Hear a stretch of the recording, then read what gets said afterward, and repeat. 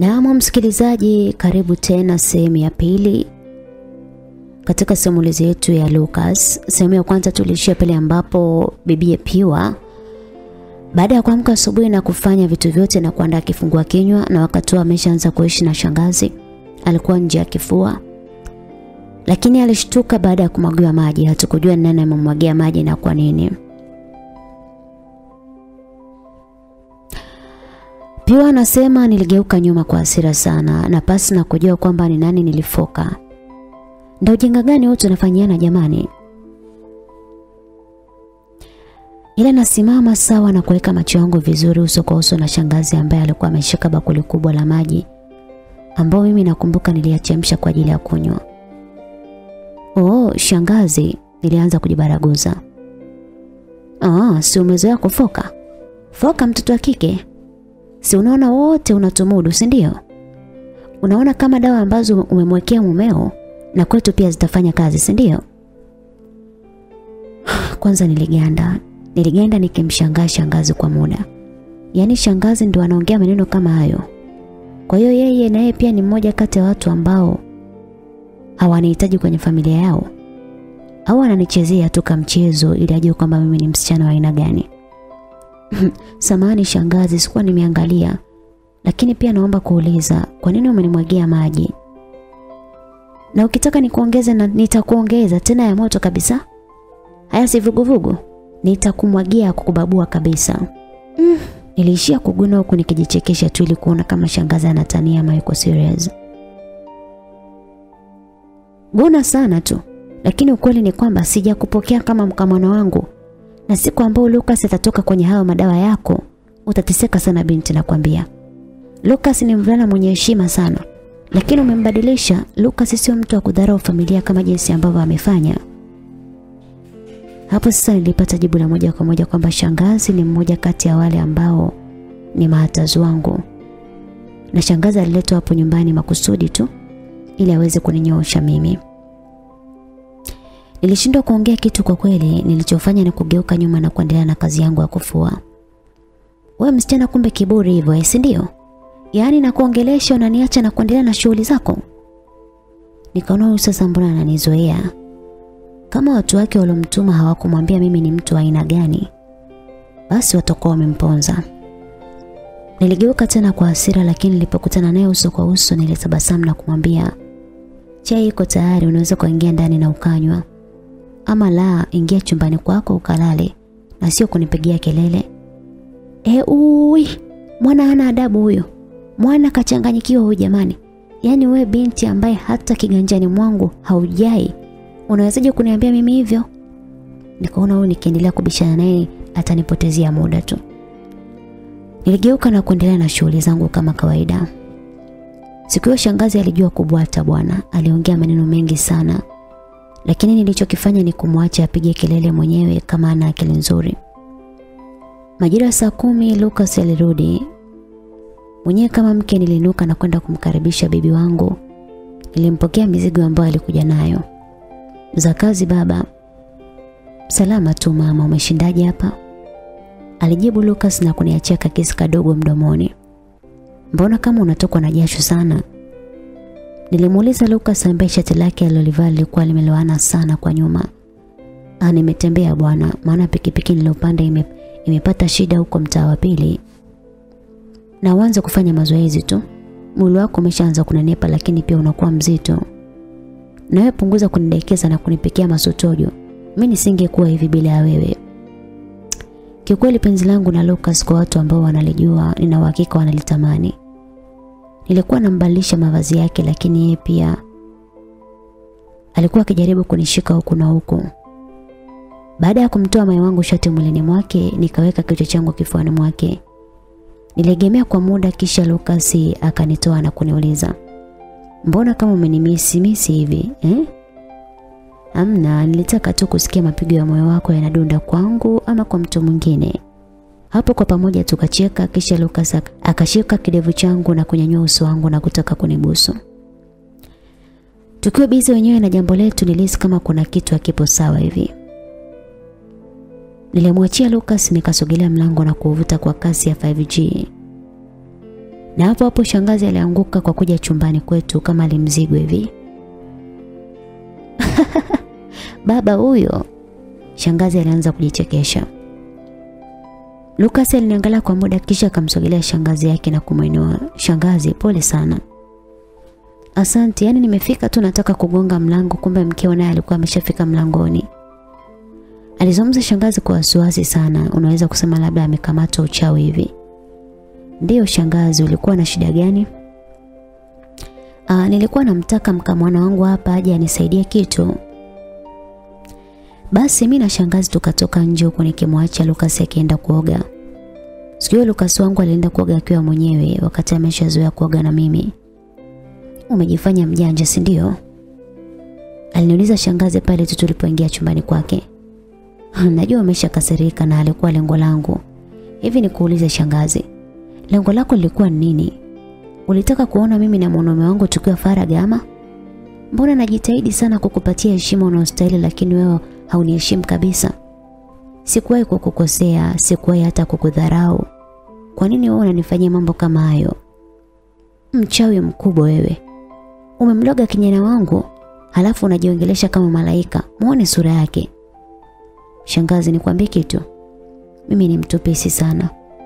Ukienda sawa na mimi basi utafurahi. Lakini pia ukijifanya mjuaje, pia dawa yako ninayo.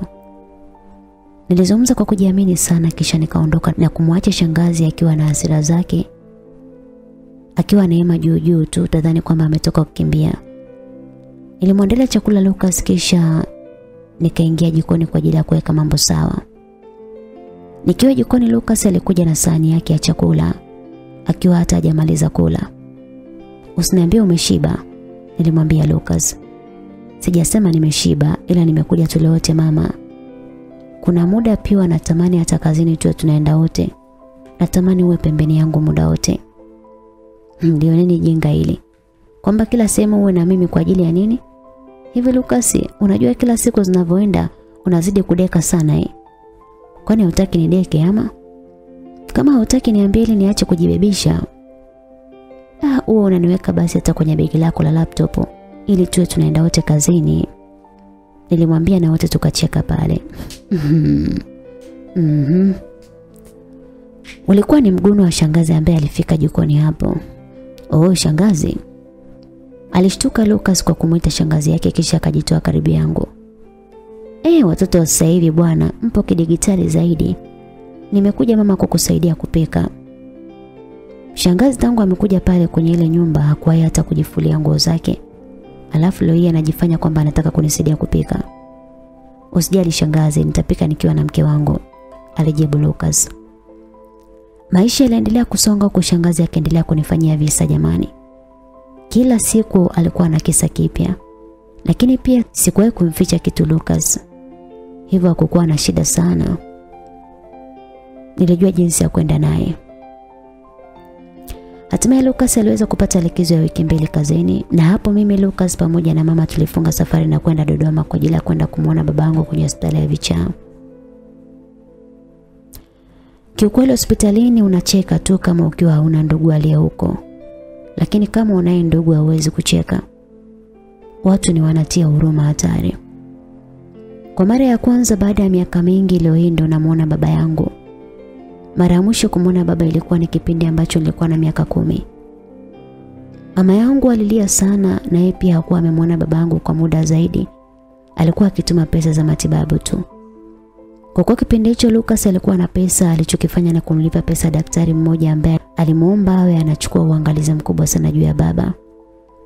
Nilifurahi kumwona baba yangu lakini pia nilipata maumivu kwamba baba yangu alishindwa kutambua kwamba mimi ni binti yake.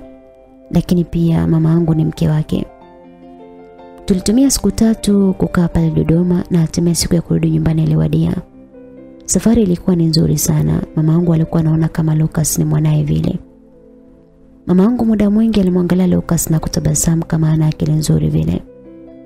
Mama, mbona unamwangalia hivyo mume wangu jamani? Wewe ni mumeo na mimi ni mwanangu. Usitaki kushindana na mzazi. Ila mwanangu hapa umepata mume.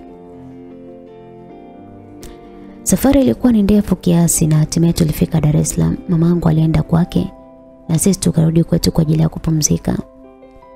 Tulifika nyumbani na kugonga mlango tukiamini kwamba Neema ndo atakuja kufungua mlango kwa ndiye ambaye tulimwacha akiwa na shangazi.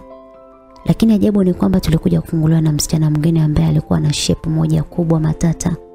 Unaweza ukasema kwamba amesusiwa. Karibuni. Alitukaribisha msichana huyo kisha akapokea mabegi na kugeuka nyuma ili kuingia ndani. Kitendo cha kugeuka tuliushuhudia msambwanda wake kwanza. Niliwahi kumziba macho mme wangu maana sio kwa ule mkalio jamani. Nilimziba macho Lucas kisha haraka nikavuta mlango na kuufunga ili mimi na yeye tubakie nje. Huyu naye ni nani? Nilimuuliza Lucas baada ya kumwachia macho yake. Mimi najuaje na ndo kwanza tumefika? Sio ndugu yenu?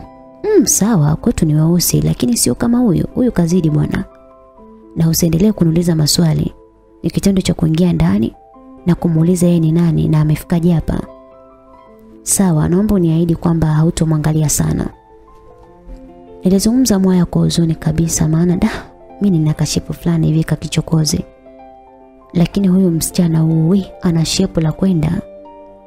Ah, mimi ni wako tu mama bwana. Basi mimi na Lucas tukaingia ndani na kumkuta shangazi akiwa busy anaangalia television na yule msichana. Alikuwa amesimama nyuma ya shangazi. Ila kuna watu wanapenda sifa. Yaani mshepu wote ule na bado anaenda kuvaa gauni ya kubana. Hivi nikimfukuza nitakuwa nimekosea jamani, nilijiuliza maswali mengi sana kichwani. Oh, baba huyo, Zauko mwanangu. Zauko ni nzuri shangazi, sijui nyi hapa. Uh, salama kabisa. Neema yuko wapi? Ah, Neema si unajua ni binti wa mjini yule. Hivyo ameondoka siku ile ile ambayo nyie mliondoka. Nikaona siwezi kukaa mwenyewe, nikamuita huyo binti hapa huko kijijini kwetu aje akae na mimi. Alijibu shangazi lakini kwa kweli sijui ni utaratibu wa wapi. Ulinishangaza sana huu utaratibu na kunikera pia. Yaani unawezaje kuleta mgeni kwenye nyumba ya watu tena bila taarifa?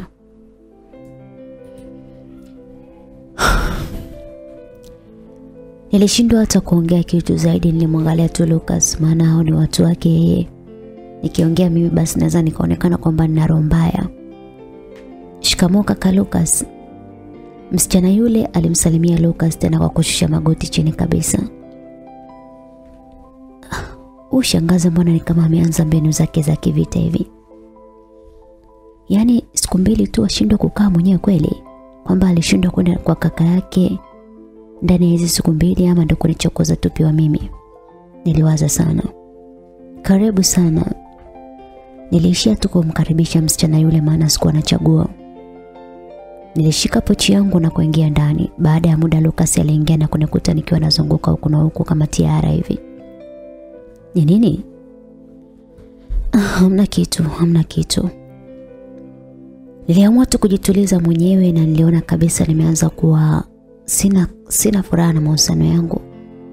Nilianza kuogopa kumpoteza Lucas kwa mara nyingine. Unamwaza huyu msichana? Aliniuliza Lucas huku akinishika mikono yangu yote miwili maana nilikuwa natetemeka hatari. Sikuweza kujibu pia niliendelea kukaa kimya tu. Uh, kesho nampa nauli narudi nyumbani alikotoka. Aliendelea Lucas kunituliza nikamjibu. Mimi najiuliza tu ni kwa nini wamlete msichana ambaye hamna hata undugu naye. Tena basi hata na ruksa yako hamna.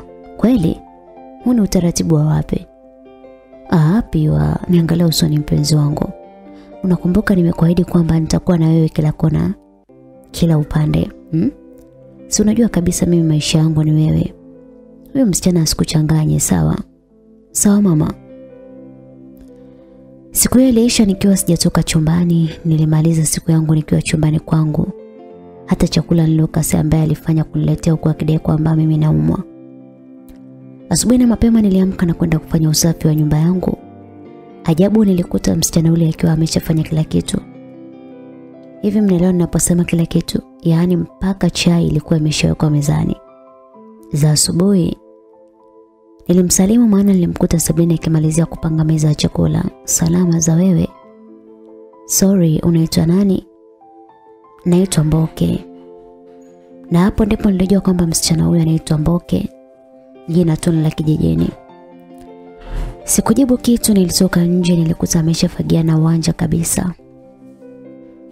Kwa muda wa saa kumi na mbili nilijiuliza ameamka saa ngapi mpaka amefanya kila kitu, lakini pia amelala wapi mpaka ameweza kufanya usafi huko kwetu, ikiwa chumba cha shangazi kipo kwa nje. Nilirudi ndani na kumuuliza umelala wapi? Ah, nimelala na shangazi. Nafungua kuingilia huku moto wapi? Amenipa shangazi maana zipo funguo mbili. Eh, tayari ameshachonga na funguo kabisa. Yaani funguo ya nyumba yangu mimi imeshapata pacha wake. Ikiwa mimi mwenye nyumba sina kitu nakijua kweli. Nilishia kumwangalia mwisho nilirudi chumbani kwangu na kuanza kumtikisa Lucas. Baby. Baby. Api wa jamani, ka kwani siruhusiwi kupumzika au? Aliniuliza Lucas huku akijinyoosha nyosha. Oh, funguo za nyumba tayari zimejifungua. Unamaanisha nini? Wameshachongesha funguo. Mm? Eh, endelea kuguna tu kwa watu wanaendelea kufanya wanavyojisikia kwenye nyumba yako. Nilitumia wakati huo kumweleza Lucas mambo ambayo nimekutana nayo asubuhi. Ah, huyo msichana ataenda kule nyumbani. Lakini shangazi ameomba tuenee kwa wiki hii moja kabla mama hajaja kumchukua. Na haya mambo mmeongea lini? Jana usiku na nilishindwa kukuambia kwa sababu ulikuwa umelala. Ya. Ukisikia sasa ukisikia ndoa ndo hii jamani sasa, eh? Aapi wa mbona na react sana eh? Mambo mengine ni madogo madogo tu. Halafu ni wasiwasi wako tu. Mboke anaonekana kuwa mtulivu sana. Na kuhusu kuamka na kufanya kazi ni kutokana na maisha yao ya kijijini. Na jina unamjua? Ah. Ulitarajia kwamba nitaishi ndani na mtu ambaye simtambui au? Piwa, tulia basi mke wangu, mbona umepaniki? Mimi nimepaniki. Ah, sawa. Niliamua tu kujibu kwa ufupi sana. Lucas alinivuta mkono na kunisogeza polepole kwenye kifua chake na kunifanya nitulie hapo kwa muda. Haikuishia hivyo, polepole alichezea nywele zangu na kuniimbia kanyimbo kangu ambako anakapenda sana. Polepole nikapitiwa na usingizi. Nilikuja kuamka majira saa nne hivi ambapo nilipoangalia huku na huku sikuweza kumwona Lucas. Ni kama wasiwasi kwangu ulizidi. Kipindi cha Stella sikuwa naogopa kama sasa hivi. Yaani sasa hivi naona kama nimekuwa mwoga mno. Nilitoka nje chapo ambapo niliwakuta wakicheza karata wakiwa na furaha sana. Muda yule Boke ndio alikuwa ameshinda hivyo aliinuka na kushangilia kwa kurukaruka. Nilishiwa nguvu baada ya kumwona Lucas akiwa amemkazia macho msichana huyo. Bora angekuwa anamwangalia usoni basi ningeelewa. Yaani alikuwa anamwangalia kuanzia kwenye kiuno kushuka chini. Niliwahi haraka na kwenda kumziba macho Lucas na kujibaraguza. Ah, uh, guess nani ameamka? Baby, alijibu Lucas. Nilitoa mikono yangu na kujichekesha maana mambo mengine ni ya aibu sana. Mboke aliponiona alirudi kukaa chini. Naye kwa namna moja ama nyingine alikuwa akiniogopa. Lucas aliinuka na kunisogelea kisha akanibusu kwenye paji la uso wangu na kuniuliza, "Umeamkaje malkia wangu?" Namshukuru Mungu papa, nikajua umetoka out pasi na kuniambia. Nilimwambia kwa kumdekea. Muda huo shangazi alikuwa akiniangalia kwa jicho la hasira sana. Na mimi nikawa nafanya makusudi sana tu. Uh, guys, endeleeni kucheza na kuja.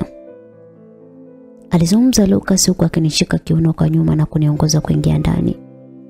Ile tu kuingia chumbani kwetu niliitoa mikono yake haraka nikafunga mlango na kumuuliza. Kwa nini ulikuwa unamwangalia vile? Piwa mama nisikilize mke wangu. Si unajua macho hayana pazia, lakini pia sikuwa nikimwangalia kwa ubaya. Umemwangalia umbo lake. Nilizungumza kwa sauti ya kutaka kulia kabisa. Lucas alisogelea redio chetu ambacho huwa tunakitumiaga tukiwa chumbani, aliwasha. Akaweka mziki mkubwa hivi. Kisha akanisogelea na kuniambia, "Wiki imeisha. sija kutibu Najua ugonjwa wako mama." Mimi leo ni mimi kutembea Uswazi, tutaenda. Aliniuliza Lucas na muda wote tulikuwa tunaoga bafuni kwetu baada ya shule.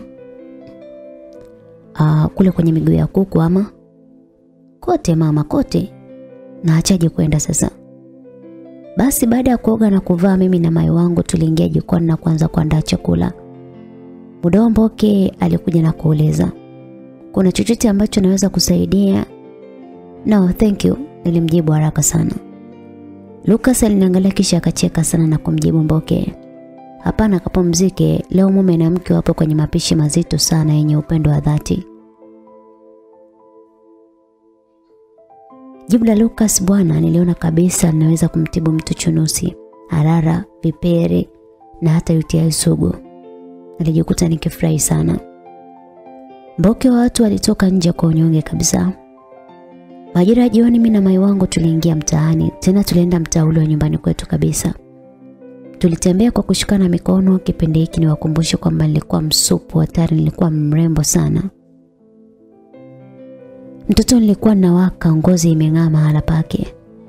Nywele kali nimesuka, kigauni changu mwenyewe kirefu nimekivaa, halafu vile nilivyokuwa nanukia sasa. Watu hawakuacha kuniangalia na kujiliza kama ni mimi. Kwanza kabisa tulienda nyumbani kumsalimia mama na mwisho tukaenda nyumbani kwa kina Lucas ambapo baba wa Lucas tu ndiye ambaye alinichangamkia. Hao wengine walinuna sana na kukunja sura zao. Utadhani kwamba wanataka kuwekwa kwenye mfuko. Wiki za likizo za Lucas ziliisha na hatimaye akaanza kwenda kazini. Muda wote wa Mboke tuliendelea kuishi naye na alikuwa msichana mtulivu sana. Siku hiyo nilikuwa nimeamka asubuhi sana na nilifua nguo za Lucas ambazo mara nyingi anapenda kuvaa kazini. Majira ya kama saa nane hivi nikiwa nimemaliza kupika, nilitoka jikoni na kwenda kutenga chakula mezani. Ajabu nikamkuta Mboke akiwa ananyoosha nguo za mume wangu pasi. Yaani nifue mimi alafu yapige pasi. Mboke, unafanya nini? Nanyoosha nguo si unaniona au? Kwa mara ya kwanza Mboke akanijibu ovyo. Lakini hizo ni nguo za mume wangu Mboke. Nisaidie kazi zingine zote lakini kwenye vitu vinavyomhusu Lucas please naomba niachie mwenyewe. Lucas ni jukumu langu sawa dia. Nilimwambia kwa utaratibu tu. Mke mkubwa umefua na mimi mke mdogo nanyoosha kosa liko wapi? Sijui kama mmesha kupigwa na bumbuazi na ganzo kwa pamoja. Yaani niliganda utadhani kwamba ni sanamu la pale posta. na kutania bwana Dapiwa. Alizungumza Boke huku akiacha kufanya ile kazi. Niliona tu nikusaidie maana naona leo kazi zote umefanya mwenyewe na umekosa muda wa kupumzika. Alizungumza Mboke tena kwa mara ya pili. Sikuweza kujibu zaidi nilishusha pumzi ndefu sana na kusogelea kochi nikakaa chini. Maana huyu binti ananifanya nijihisi kuzimia zimia hivi. Unaongoza jikoni? aliniambia Mboke. Niliinuka chapu na kuwa jikoni na kweli kamboga kangu mwa kalianza kushika chini. Haraka nikaopoa kwa kuwa pia alikuwa ameshaiva hivyo niliyepoa tu. Nilimazana na kazi za jikoni kisha nikatenga chakula mezani na kuwakaribisha.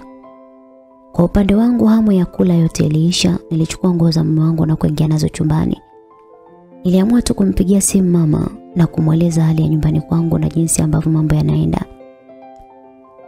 Piwa mama, huyo binti anajua nini anafanya, yaani anakuchora tu mwanangu. Anakuvutavuta na kukupooza kwamba hana anachofanya lakini kuwa naye makini sana.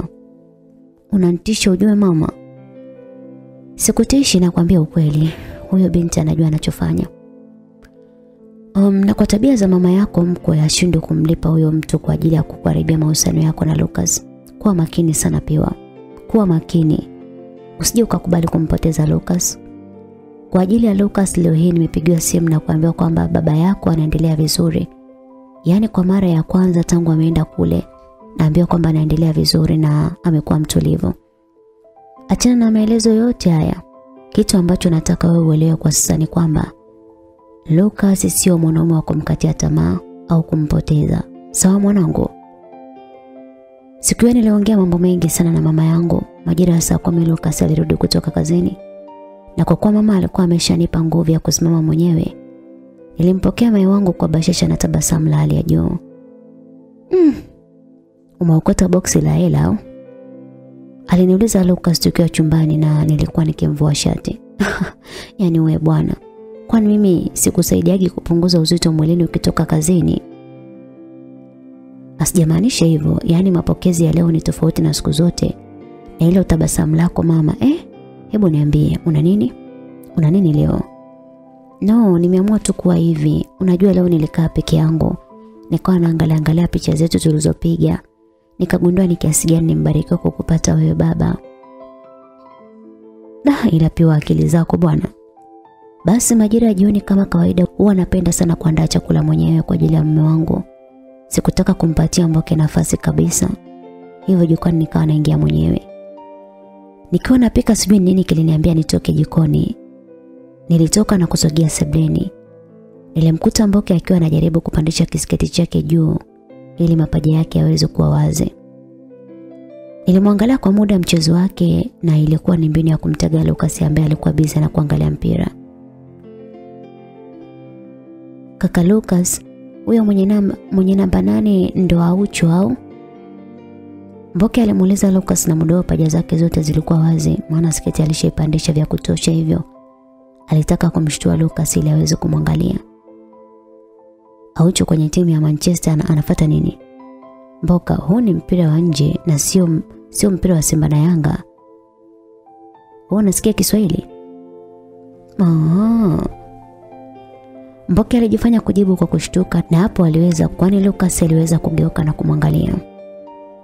Mwanaume ni mwanaume unajua eh? Yaani kuna vitu mwanaume akiviona lazima tu atarudisha macho yake na kuangalia kwa mara nyingine. Na hicho ndicho kitu ambacho Lucas alifanya. Yaani Lucas aligeuza macho yake kwa mara ya pili na kumwangalia tena Mboke pale pale kwenye paja zake na kujikuta akiganda kabisa kumwangalia. Mboke alitabasamu na kujifanya kwamba yuko busy sana na kuangalia mpira. Alijifanya kama hajui kwamba paja zake ziko wazi. Ah, uh, ngoja nimwangalie pia huko jikoni maana naona anachelewa kuandaa chakula. Alizungumza Lucas kisha haraka akainuka. Na mimi nikawahi na kurudi jikoni na kujifanya kwamba naendelea kupika. Ah, baby, unapika tu? Bado kidogo. Bado kidogo tu. Kitendo cha Lucas kuniuliza vile aliponiuliza alinishika na kiuno. Nilijua tu ni kiasi gani mwili wake umechemka kutokana na kumwona Mboke akiwa vile. Roho yangu iliniuma sana lakini sikuwa na chaguo kwa wakati huo. Uko sawa? Ndiyo pia niko sawa, ni vile tu njaa inaniuma sana. Ndio maana naona kama chakula kinachelewa. Alizungumza Lucas huku akijaribu kubana miguu yake. Kiufupi hali ya Lucas ilianza kuwa tete. Mboke aliweza kumchanganya moyo wangu kwa wakati huo. Kanisubiri sebleni naleta chakula sasa hivi. Nilimwambia hivyo makusudi kabisa. Ah baby, uh, mnafikiri Mboke anahitaji nguo za kujistiri mwili wake? Alizungumza Lucas ni wazi jambo lile lilimkaa shingoni. Mbona amevaa nguo ndefu tu na pana jamani? Njoo uone nguo aliyovaa ni fupi mno. Basi Lucas alinishika mkono na kuniongoza njia. Tulisimama kwenye mlango wa pale jikoni na kumwona Mboke akiwa amekaa kwa kutulia kabisa na sketi yake ndefu ilifunika mpaka miguu yake. Hatukuweza kuona hata kidole. Mm? Lucas alishia kugona mguno wake kwa kweli ulifanya nicheke. Maana mimi ndo najua nini kilikuwa kimetokea kwa wakati huo. Ni uchawi au kitu gani? Mimi nilikuwa naona ame, amevalia nguo fupi mno. Njaa imekuzudia mme wangu, wacha basi ule akili kae sawa. Siku ile ufuata niliona kwa nini nikae na mambo hayo moyoni, nilimwita Mboke na kuanza kuzungumza naye. Mboke, um, naona mwezi unaisha na sijui plani yako nini. Nakumbuka mara ya mwisho tulivyozungumza ulisema kwamba utaenda utaenda kuishi nyumbani kwa kina Lucas. Nini kimetokea? Uh, shangazi na mama wa Lucas wamesema naendelea kukaa hapa ili nikusaidie kazi. Kazi gani? Kazi za hapa nyumbani. Kama hivi dada ukiwa unafanya kazi unakosa muda mwingi wa kupumzika. Ah, sijui kama wewe ndo mkubwa au mimi ndo mkubwa. Lakini nikwambie kwamba Mboke unanivunjia heshima. Hii michezo unaoleta na mume wangu naiona. Usinione nimekaa kimya. Mboke alionyesha hali ya wasiwasi kisha kwa sauti ya uoga akaniuliza, "Michezo gani tena dada?" Jana nimeona kila kitu. Kila kitu. Luka anaweza asielewe ulichokifanya ila mimi nimeona. Sitaki tufike mbali. Ninachoomba ni wewe kunipisha tu na familia yangu. Najua unatumika. Nilizungumza kwa utaratibu hali ya juu. Cha ajabu Mboke alianza kucheka kwa dharau sana kisha akanambia, "Kweli wewe ni mwelevu na wanaweza kumgundua mtu kwa muda mfupi." Ukweli ni kwamba mimi, wewe, Stella tupo kwenye ligi moja. Wote tunasakata kombe la kumpata Lucas. Unasemaje? Umenisikia? Ila nakujua wewe pia ni kiburi. Oho. Katika listi nimemsahau Tima pia. Najua anampenda mno Lucas. Yupo radhi hata kutoa kutoa mtu uhai. Nilitulia kwanza ili aendelee kujimaliza. Yaani Mboke alionekana kujua mengi sana huyu msichana. Uh, kitendo cha Lucas kumkataa Stella kilinipa imani na amani sana. Ila wewe kidudu mtu ukaja kujitokeza kwa mara nyingine tena. Hivi unajua kwa nini shangazi ya kuja kuhudhuria ndoa ya Lucas na Stella? Piwa. Usinipe jibu, nitakwambia mimi. Sababu ni mimi. Shangazi amekuwa akiniandaa miaka na miaka ili nije kuwa mke halali wa Lucas. Cha ajabu familia wakamtafutia mtu mwingine. Piwa. Nisikuchoshe usinichoshe na usijichoshe. Cheza mpira wako nicheze wa kwangu. Mshindi atatangazwa kanisani. Kiukweli nina mdomo sana na nina hasira lakini siku hii nilifyata mdomo wangu tu. Kabinti ambako akiwapo mume wangu anaongea na lafudhi yake ya kishamba. Leo hii anaongea na mimi kama kadada kalikobobea maisha ya mjini. Mboke wanatania si ndio? Na mara nyingi kwenye utani ndipo ulipo ukweli usisahau hilo pia. Alijibu Mboke kisha akainuka na kuniacha mwenyewe pale chini ya mti. Maana maongezi yetu tulifanyia chini ya mti, sikutaka shangazi asikie. Muda mfupi baada ya Mboke kuingia ndani, niliweza kusikia kicheko cha umbea kati yake na shangazi. Nilikuwa nimekaa kwenye jiwe lakini nguvu ziliniisha nikaamua kukaa chini kabisa na kunyoosha miguu. Nilitamani kumpigia simu mama na kumwambia hali halisi lakini nikakumbuka kwamba mama aliniambia nijisimamie mwenyewe kwani hata kuepo kwenye maisha yangu milele. Nilijikaza na kuinuka pale chini ambapo nilikuwa nimekaa na moja kwa moja nikaingia ndani. Ile nimefika sebuleni tu shangazi na Mboki wakagunganisha mikono yao kisha wakacheka kwa pamoja. Mwaka wako huu. Niliwaangalia tu kisha kwa mwendo wa haraka nikaingia chumbani kwangu. Nilijiangalia kwenye kio kwa muda na kujiambia acha kuwa mzembe. Hakuna mtu anakuweka kama utasimama kama piwa. nilisabasamu na kutoka nje. Nilienda moja kwa moja kwenye kochi na kukaa, nilichukua remote na kubadilisha channel. Mwana hauna haya wewe? Mimi naangalia kipindi changu jamani. Aliniambia shangazi. Muda huu ni wa wewe kwenda kulala na sio kuangalia TV.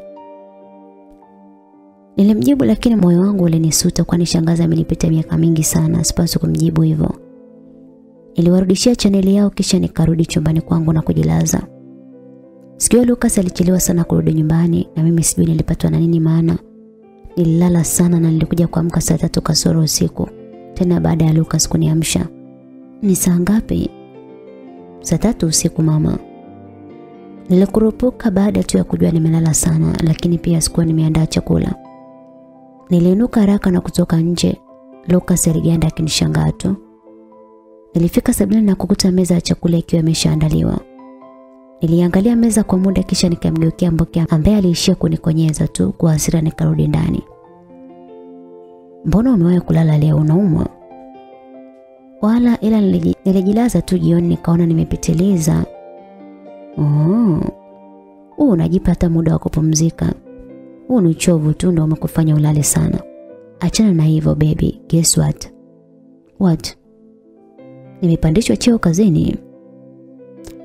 Furaha ambayo nilipata haikuwa ikielezeka. Nilipiga makelele ya hali ya juu sana na kumkumbatia mai wangu na kuanza kumbusu huku na huku. I'm so proud of you baby. Nilimwambia Lucas huku nikimalizia na kesi la mdomoni. Asante baby, lakini yote ni kwa ajili yako.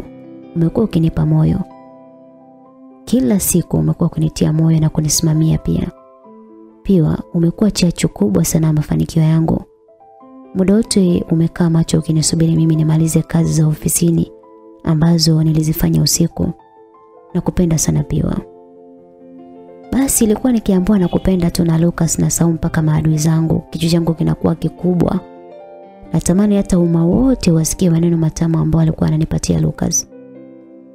Nina surprise nyingine kwa ajili yako lakini utaipata Jumapili. Mm, sasa kwa nini umeniambia saizi Lucas? Unajua moyo wangu hauna subra. Eh? Moyo wako una zaidi ya subra pia. Haya maisha umeyasubiri kwa muda mrefu sana ujue. Eh, basi baby basi. Najua uwezi kumaliza maneno yako ni mengi sana. Una maneno mno ya mwanaume. Hapa twende tukaoge and then ukale kipenzi. Basi mimi na mai wangu kama kawaida ni mwendo wa kuoga pamoja tu. Kwa wale watu wamesema kwamba yanadumu, niwaambie kwamba kila siku kwetu penzi ni jipya. Tulioga kisha tukaungana na familia nzima kwenye chakula. Tulipofika Mboke aliinuka na kuanza kumpakulia Lucas chakula. Mboke, unaweza kupumzika, pia atanipakulia chakula. Mboke lilikuwa limemshuka shuu, mai wangu na nusu amesimama upande wangu. Imagine. Hapo ajui kwamba huyo Mboke yupo kwa ajili ya kuharibu penzi letu na akijua je. Pia mimi kwa mbwembwe ya hali ya juu nikainuka na kumpakulia chakula Lucas wangu. Ila nyie sifa nyingi aisee. Sifa hazijai ujue. Nilikuwa na uwezo wa kunyosha mkono na kumpatia Lucas, lakini kwa sifa nikataka kumpelekea shoga yenu nilianguka chini kama mzigo. Niliangukia kaskazini na chakula kikaenda kumwagikia kusini huko. Yaani da nilidhalilika mno. Lucas haraka akainuka na kuja kuninyanyua. Muumia.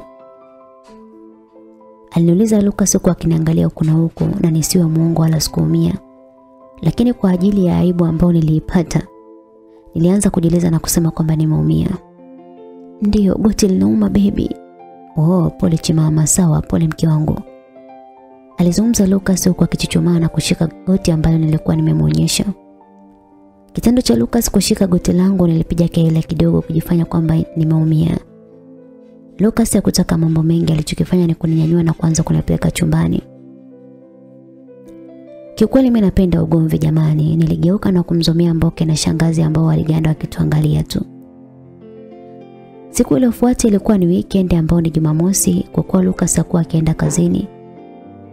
Nikaendelea kuigiza kwamba mguu unaniuma. Nikupeleka hospitali sasa? Ah Lucas, hapa ni kuchua tu nitakuwa sawa. Kuchua wapi? Angalau ukiguswa kidogo tu unashtuka na kupiga kelele. Mimi siwezi kukuona ukiwa kwenye maumivu kiasi hiki bwana. Nilimwonea huruma Lucas wangu, yani mimi naigiza lakini yeye anaumia kweli kweli. Nikaona ni bora niachane na haya maigizo tu. Sijaumia bwana. Niliamua kumwambia ukweli. Haujaumia mtu hata kusimama mwenyewe uwezi jamani piwa. Acha utani na afya yako ujue. Hapo niliinuka na kuanza kurukaruka kitandani. Na hii nao ni nini jamani?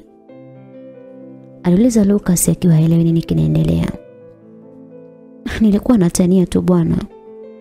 We, ile aibu ya pale unafikiri ningetokaje eh? Yaani mke wa Lucas anaanguka kama vile mbele za watu. Ulitarajia nifanye nini? Kunguni wewe. Yaani nawaza na kuazua kumbe unanitania tu. Alizungumza Lucas huku akicheka, alinivuta na kunishusha kitandani. Huu mchezo wako ungenipanga na mimi, unajua jana sijalala kabisa.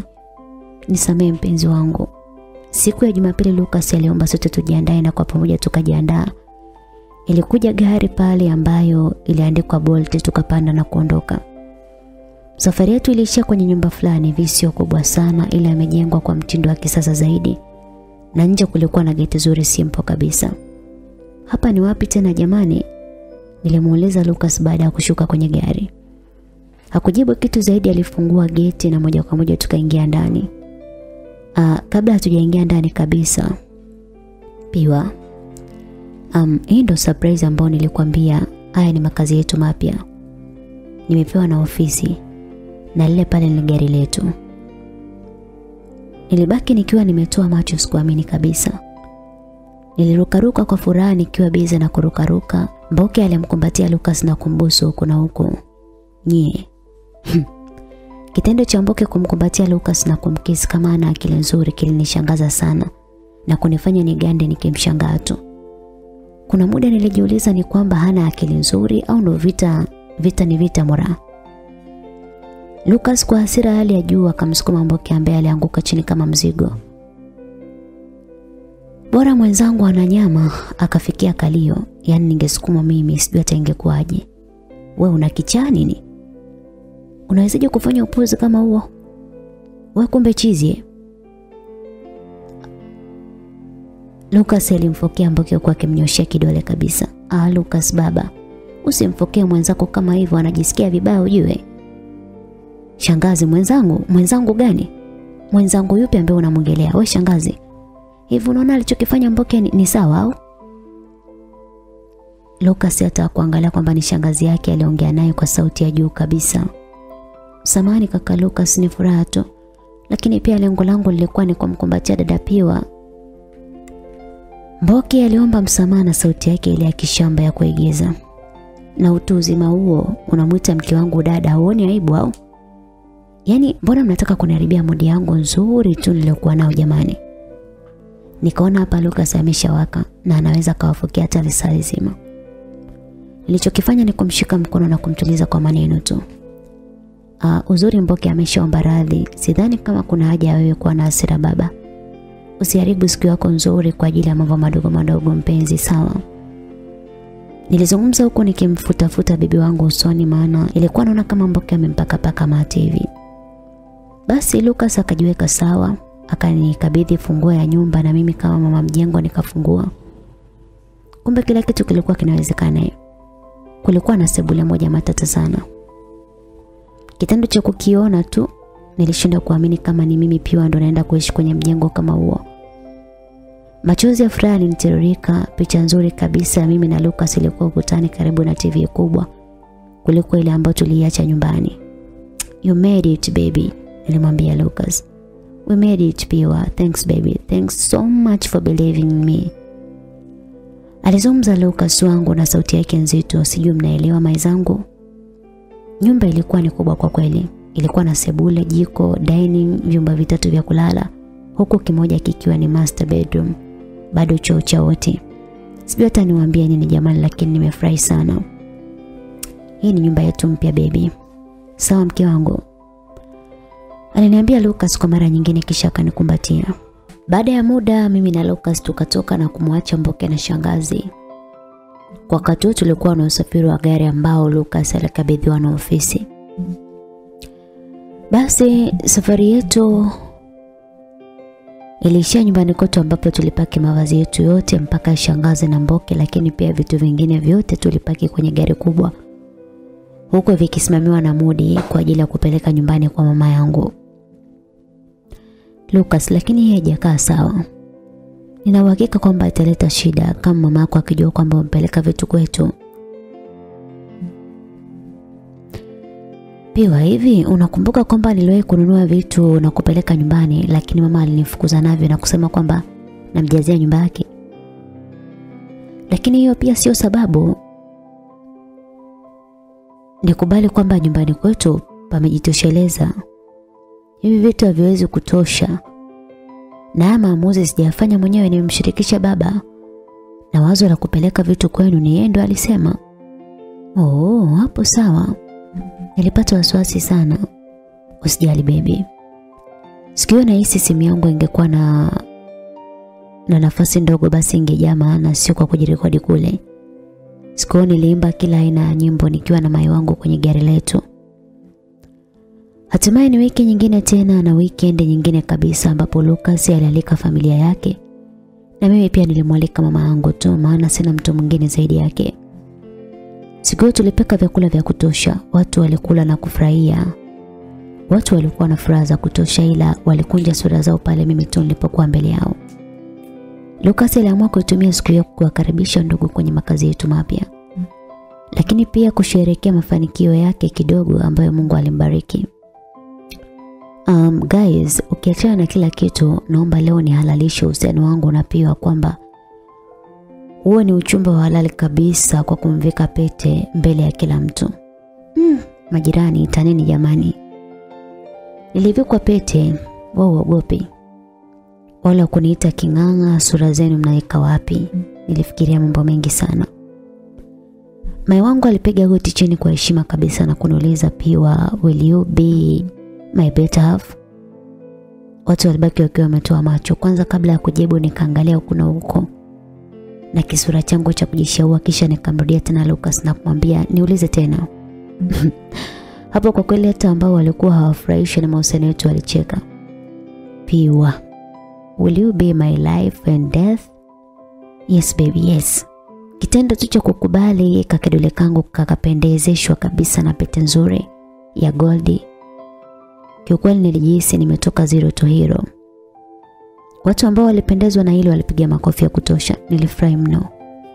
Nilimwinua Lucas wangu ambaye alikuwa mpiga goti kisha nikamkumbatia pale. Mama mkwe alitusogelea tulipo kisha akashika mkono wa Lucas na kuzungumza kwa hasira. We need to talk Lucas. Mnaweza mkaongea hapa? Alijibu baba ambaye ni babake na Lucas.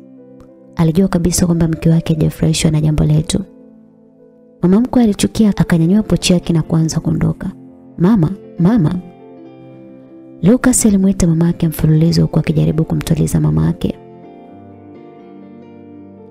Siku ambayo utajua kwamba mimi ni mama yako basi utachana na huyo msichana. Alijibu mama Lucas kisha akaondoka pale. Nilijisikia vibaya sana. Da.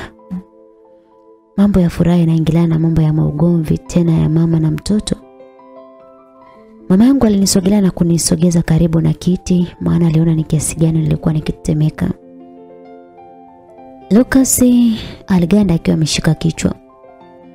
Moyo wangu aliamini kwamba siku hii mama yake ataachana na chuki ambazo anazo dhidi yangu, lakini imekuwa tofauti, yani ndio kwanza ameongeza chuki. Neema pia aliinuka na kuondoka, kiufupi watu waliondoka isipokuwa baba mkwe, shangazi na Mboke ambao waliamua kudili na sisi. Majira jioni mamangu aliondoka akiwa ameongozana na baba Lucas kwani alimpatia lifti. Sasa mnajua tena nyumbani. Nyumbani kwetu hatuna hata mkokoteni. Usiku nikiwa chumbani na mama wangu nililazimisha tu furaha, yani jinsi ambavyo mama mkwe aliondoka pale. Niliona kabisa itakuwa shida sana mimi kukubaliwa na huyo mwanamke. Bado unamwaza mama? Lucas. Hamna, niko sawa. Pia anakujua kuliko unavyojijua mwenyewe. Sasa hivi hakuna kitu unaweza kunificha. Uachie moyo wako mama. Uzuri ni kwamba mimi ndo mtu ambaye unaitakiwa kuwa naye katika maisha yako yote. Kwa jali kuhusu mimi, sawa mama? Sawa. Come here baby. Aliniambia Lucas na sikufanya ajizi. Nilisogea na kujilaza kwenye kifua chake. Alivuta mkono wangu na kuanza kuchezea chezea, alichezea pete ambayo alikuwa amenivika kwa siku hiyo. Asante sana kipenzi. Mungu akubariki. Asante kwa kupia kwa kuipokea proposal yangu. Ule muda ulikuwa ni nilikuwa na hofu kubwa sana. Yaani najua unanipenda najua. Lakini nikawa nawaza itakuwaje akinikataa huyo binti sintala nitazalilika mimi. We, kwanza ningekukataa. Ningeomba kabisa nipeleke kuombewa. Yaani niseme katika maisha yangu ya mahusiano ni wewe tu na hakuna mwingine. Ndio maana nakupenda. Misi wangu na hesabia kwamba sasa hivi ndo tunaanza rasmi maisha yetu. Sasa hivi wewe ni mchumba wangu kulia na kushoto mbele na nyuma. Siku iliyofuata nilimwandaa mpenzi wangu na akaanza safari yake. Alikuwa akisafiri kwenda mkoani kwa ajili ya kazi. Nilibaki nikiwa nimepooza nikawaza yani hapa na baki na huyu shangazi na msichana wake wa ovyo Mboke. Ameshaondoka si urudi ndani au? Mboke alianza mambo yake sasa. Niligeuka nikamwangalia tu kwa dharau kisha huyo nikaingia zangu chumbani kwangu. Majira ya saa nne niliamka na kwenda kuangalia kifungua kinywa kwani njaa ilikuwa ikiniuma sana. Nilifika jikoni na kukuta vyombo vichafu. Yaani Mboke na shangazi walikunywa chai na kuacha vyombo vyao vikiwa vichafu. Nilisogelea tray la mayai na nilishtuka baada ya kukuta hakuna hata moja. Ikiwa kulikuwa kuna mayai nane. Kwenye friji ndo kabisa hakukuwa na kitu. Niliwaza vimeenda wapi maana kulikuwa na sausage na mboga mboga na viungo. Lakini kwa wakati sikukuta kitu kabisa. Nilitoka na kwenda kumuuliza Mboke chumbani kwake ajabu sikukuta mtu. Niliwatafuta huku na huku lakini hakukuwa na mtu. Mwisho nilichukua simu na kuwapigia. Mko wapi? Niliuliza baada ya kupokelewa simu. Nipo kwa mama yangu mko ulikuwa unasemaje? Sawa, mmeenda huko na vyakula pia viko wapi? Nimewaletea wakwe zangu, wewe si mke mdogo. Hujui kama hata wakwe zako wanauhitaji? Niliishiwa nguvu kwa kweli na kuamua kukata simu tu. Yaani mtu unachukuaje vitu vya watu pasi na ruhusa na kwenda kupeleka mahali pengine kama zawadi? Nilikaa kwa muda, mwisho nilipanga kwenda tu sokoni na kununua vitu vingine. Lakini hasira yangu ikazidi, nikaamua kumpigia simu Lucas na kumweleza kila kitu. Hao wasikusumbua akili mke wangu na kwa kwa dharau zao ni za wazi. Basi ishi nao kama wanavyotaka piwa. Hmm? Niko mbali na wewe kwa sasa hivi. Naomba ujue kujilinda dhidi ya watu wao. Huyo shangazi yangu simwamini kabisa. Mm, Lucas naye ni kama alianza kuntisha sasa. Yaani shangazi yake mwenyewe alafu ananiambia nisimwamini kweli jamani. Majira ya saa mbili usiku watu wangu walirudi na muda nilikuwa nikiangalia TV. Waligonga nusu saa nzima, niliwaacha kwanza wale jeuri yao hapo nje. Mwisho nilienda kuwafungulia kwa kumwonea huruma shangazi. Lakini kama ingekuwa ni huyo mboke tu hii angerudi alikotoka. Muda wote huo ulikuwa wapi? Alianza kunifokea shangazi sasa. Kwani tulikubaliana kwamba mimi ndo nitakuwa nikiwafungulia milango au? Kwanza kabisa mmeondoka na kuniachia mlango wangu wazi. Uwezi wangekuja unafikiri ingekuwaje? Mlango wako una nyumba wewe, binti, hauna haya wewe. Shangazi ingia ndani ukatuliza miguu yako. Maana umeisumbua na daladala sana. Sikuona sababu ya kubishana na muda wote nilishikilia zangu pesa nikapitiliza ndani kulala. Baada ya muda mlango wangu ukaanza kugongwa kwa nguvu sana. Haraka nikatoka. Nikakutana uso kwa uso na Mboke. Mbona hakuna juice kwenye friji? Excuse me. Usiniongeleshe lugha zako. Mbona kwenye friji hakuna juice? Siku nzima ulikuwa unafanya nini? Huko ulikopeleka vitu vyote na matunda hamkunywa juisi. Kwanza saa hizi juisi za nini? Msije msije mkanikojolea kitandani bure. Hapo Mboke alipaniki akanyosha mkono wake na kutaka kunipigia lakini niliwahi na akajikuta akipiga mlango. Kwani niliwahi kufunga mlango. Kwa kweli mimi kwenye kupigana niko vizuri. Na sikuwahi kupigwa kabisa kwa kweli. Lakini nikimwangalia Mboke na ule mwili wake na vile amelelewa kijijini huko, we sithubutu kupigana naye kwa kweli. Wewe si mwanamke kweli? Mbona umeenda kujifungia ndani? Toka nje kunguni wa pinki wewe. Naomba uende huko Mboke. Jitu zima linalilia vitu ambavyo hajatafuta. Hauoni haya, dada, tafuta vya kwako sio upo upo tu. Na tako lako lisilokuwa na faida hapa. Pia toka nje. Toka nje ndio unijibu. Sio unaongea ukiwa ndani. Toka nje ndo tujibishane hapa. Nje sitoki na hakuna kitu ut utanifanya nakwambia. Labda kesho ushinde humo ndani nakwambia. Lakini ukitoka nje na kuvunja, naona umenizoea sana. Sauti ambayo alitumia Mboke kwenye kunipiga mikwara kwa kweli ilinitisha mno. Nikaona huyu village girl huyo ni kama anakuwa serious hivi. Asubuhi na mapema niliamka nikiwa na njaa ya kutosha. Hivi mnajua njaa? Yaani njaa ilikuwa ni ya viwango vya juu. Sijui nielezee kitu gani hapa. Nilibaki nikizunguka chumbani kwangu. Muda wote huo niliogopa kutoka nje kwa ajili ya mikwara ambao nilipigwa na Mboke. Kwa kweli njaa ilizidi kunisokota mpaka nikahisi kama minyoo imeongezeka tumboni na inapigana. Nilisogelea mlango wangu na kuufungua taratibu. Ile nasogeza tu sura yangu na kuchungulia. Niliweza kumwona Mboke akiwa amesimama pembeni ya mlango wangu, ni wazi alikuwa akinisubiri. Polepole nikarudishia mlango wangu na kurudi ndani. Si kwamba nilikuwa nikimwogopa sana, hapana. Wasiwasi wangu ni kwamba nilikuwa mwenyewe na wanaweza wakanifanya chochote hawa watu. Baada ya kuwaza na kuwazua nilipata wazo la kumpigia Modi. Nilimpigia Modi na kumweleza kila kitu huku nikimwomba aje nyumbani. Mudi wa watu na vile alikuwa ananikubali shemela wake. Ndani ya robo saa tu aliwasili nyumbani na kuniulizia. Mboke mrembo mambo. Mboke naye ni msichana ambaye anapenda penda sifa sana. Kitendo cha Mumbi kumwita Mboke mrembo tu kikamchanganya akili ya Mboke. Akabaki akikunja kunja vidole vyake kwa aibu. Ah, shemeji nimemkuta. Hayupo. Hayupo ametoka.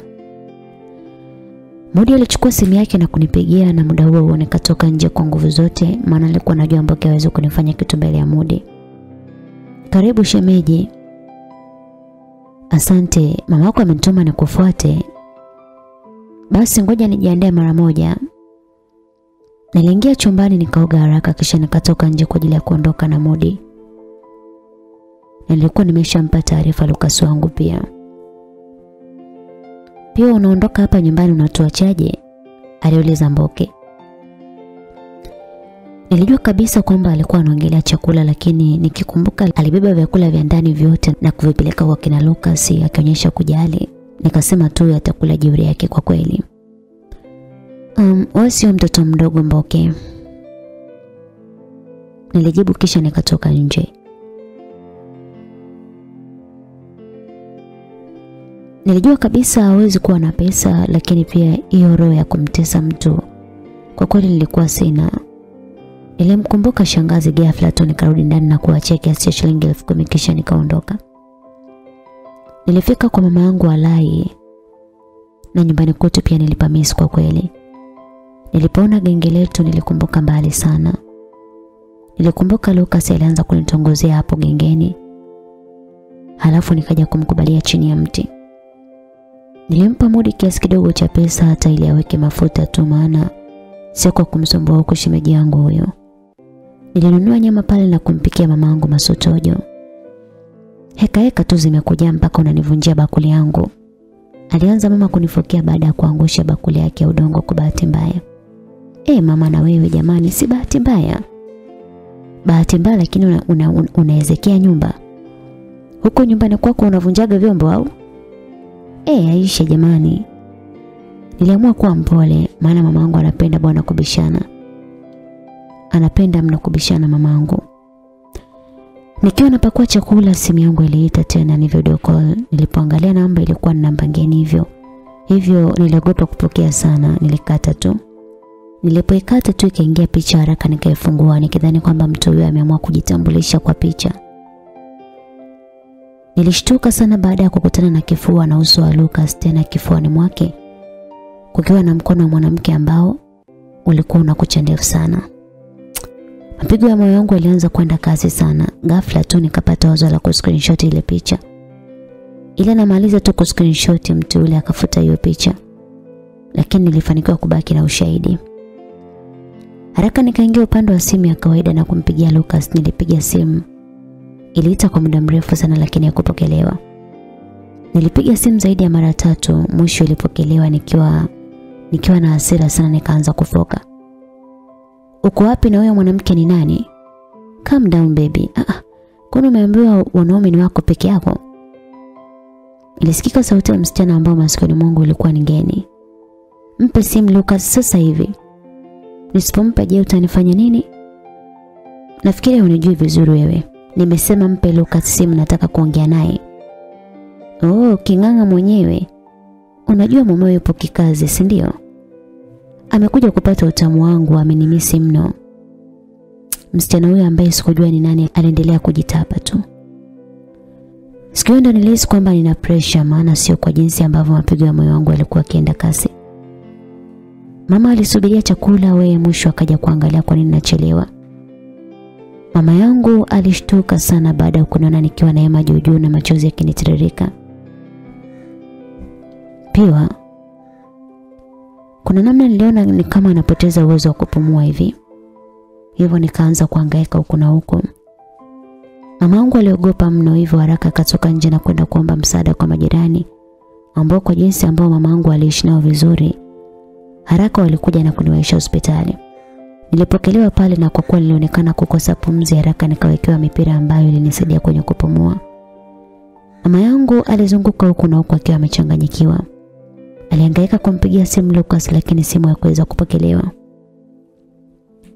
Upande wangu hali yangu ya ilikaa sawa na hapo ndipo nikaanza kupimwa ili kujulikana kwamba nilikuwa na shida gani. Baada ya kama masaa mawili mama mamangu aliitwa na daktari kisha akapata majibu. Uh, binti yako yupo sawa lakini kwa leo itampasa kubaki hapa kwa ajili ya uangalizi. Lakini pia anatakiwa kuwa makini sana. Hatakiwi kuwa na mawazo. Muda ambao ulimleta hapa presha yake ilikuwa juu sana. Jamani jamani mwanangu.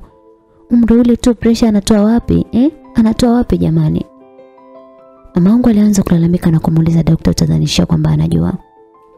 Uh, mama, vyakula sasa hivi watu wanavyokula vinapelekea mambo kama hayo katika umri mdogo.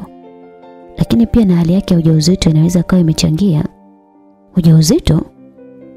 ndio mama. Mtoto mpumbavu kweli. Sasa anashika ujauzito na mimi haniambii. alitoka kumwambia nani? Kwanza naruhusiwa kumwona. Ya, unaweza kumwona lakini pia anatakiwa kupata chakula. Ila hakikisha umfokei, anahitaji sana utulivu. Hamna shida dokta, asante. Mama yangu alimaliza kuzungumza na daktari haraka akaja kwenye wodi ambao mimi nilikuwa nimelazwa na alinikuta nikiwa nimekaa wima tu. Kabla ya chochote mama, njaa inaniuma mno, yani nahisi njaa. Lazima ukuume. Unakaaje bila ya kula kwa muda mrefu? Unataka kukaua kwa katoto au? Mama yangu aliambiwa asije kunifokea lakini alianza kunifokea. Katoto gani na wewe? Unajitoa akili ya? Kwa hiyo wewe na Lucas ndio mmekaa mkaamua hiyo mimba iwe siri, si ndio? Mimba? Ndio picha ya Lucas akiwa na mwanamke ikae inajirudia kichwani mwangu tu. Mama unanichanganya ujue. Hizi habari za mimba zimetokea wapi jamani eh?